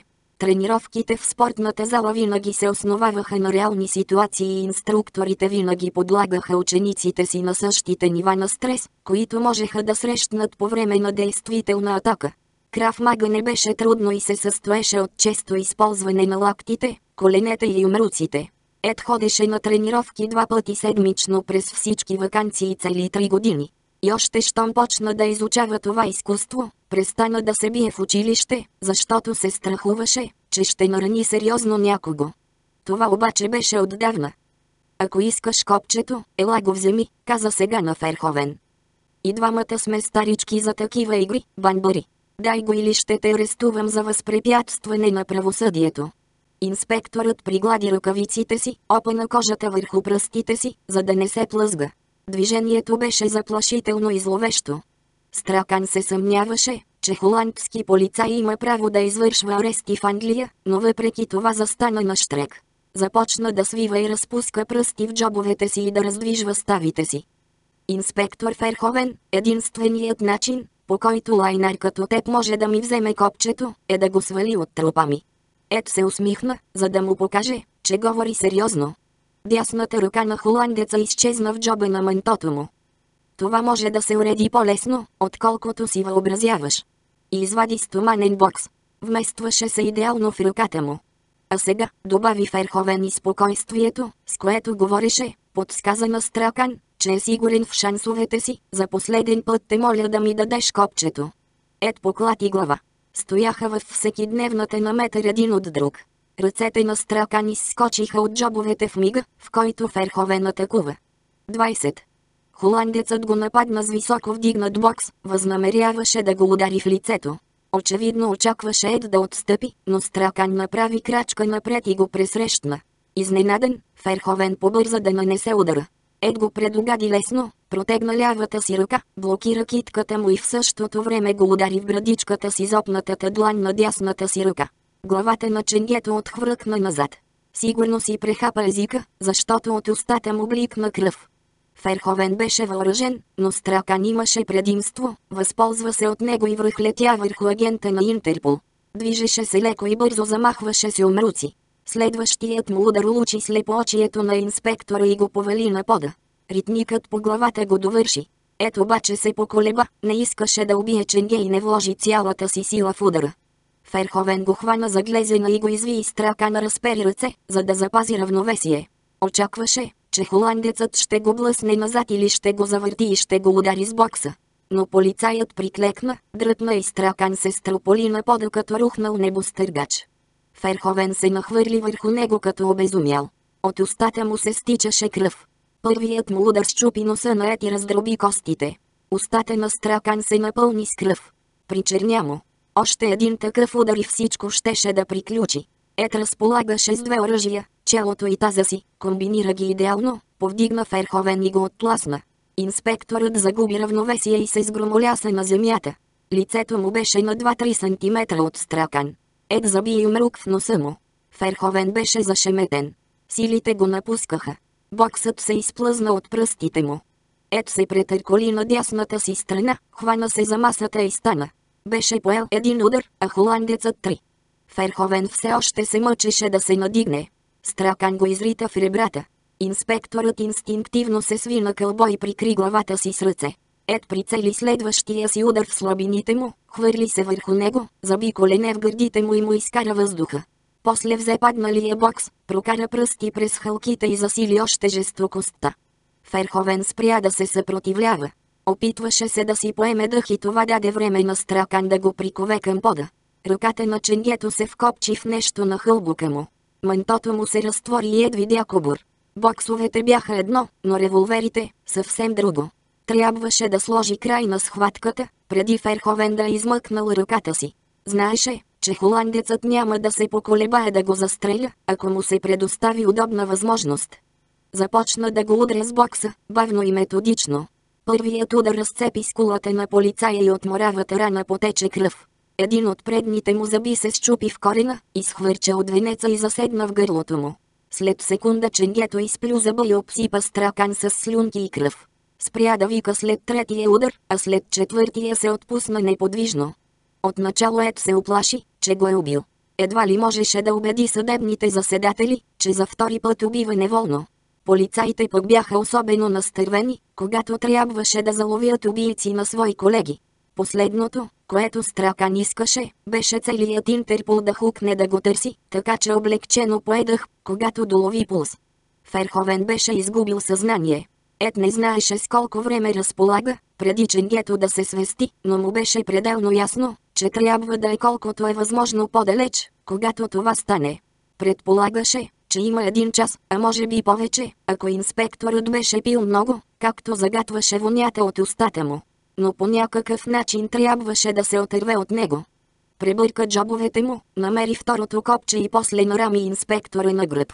Отиде залитайки до шкафа и взе бутилка Джак Даниелс, беше му необходима, в случай, че някой ги забележи, тогава щеше да се престори, че са пияници, които се връщат от тежък запой. Избърса с ръка в кръвта от лицето си, извади с зъби корковата тапа и я изплю на пода. Уискито опари разцепената му устна, когато отпи голяма глътка, но му даде сили. Стракан отпи още една и понесе на рамо жертвата си надолу по стълбите. Ферховен беше по-тежък, отколкото изглеждаше. Ед залиташе под тежестта му и това придаваше достоверност на заблудата. Излезе, зави по Тачбрук стрит и се отправи към магазините на Лорикуей. Вдясно имаше задънена уличка с три кофи за смет. Бяха препълнени. До тях бяха струпани чували с отпадъци. Поне 50. Идеално. Стракан хвърли Ферховен в средата на купчината и холандецът хлътна между чувалите. Ед изля бутилката Джак Даниелс върху дрехите му, после я избърса и я метна в скута му. Изпита нещо като удоволствие. В действията му имаше някаква справедливост. Само преди две нощи инспекторът бе изхвърлил филмите му в буклука на летище Шхипол. Гнездото сред празните смачкани котии от китайски ресторанти, пликове от прахосмукачки, чували с смети кости от риба изглеждаше удобно и приятно за прекарване на нощта. Ако на Ферховен не му провървеше, щяха да го гризат плъхове. Ако не извадеше никакъв късмет, някой можеше да го пребие и обере. Но купчината отпадъци беше по-безопасно място за нощуване от стотици други, за които Стракан се сещаше, и изгледите холандецът да оцелее бяха добри. Щеше да се събуди целият подут, но жив. Щеше да отиде в болница да се погрижат за лицето му. И после щеше да тръгне да го търси но до тогава Стракан отдавна щеше да е заминал, да издирва наследството си на пресечната точка между двата координата. Стисна копчето в джоба си. След 21 годишна раздяла географската ширина и дължина най-после се бяха събрали.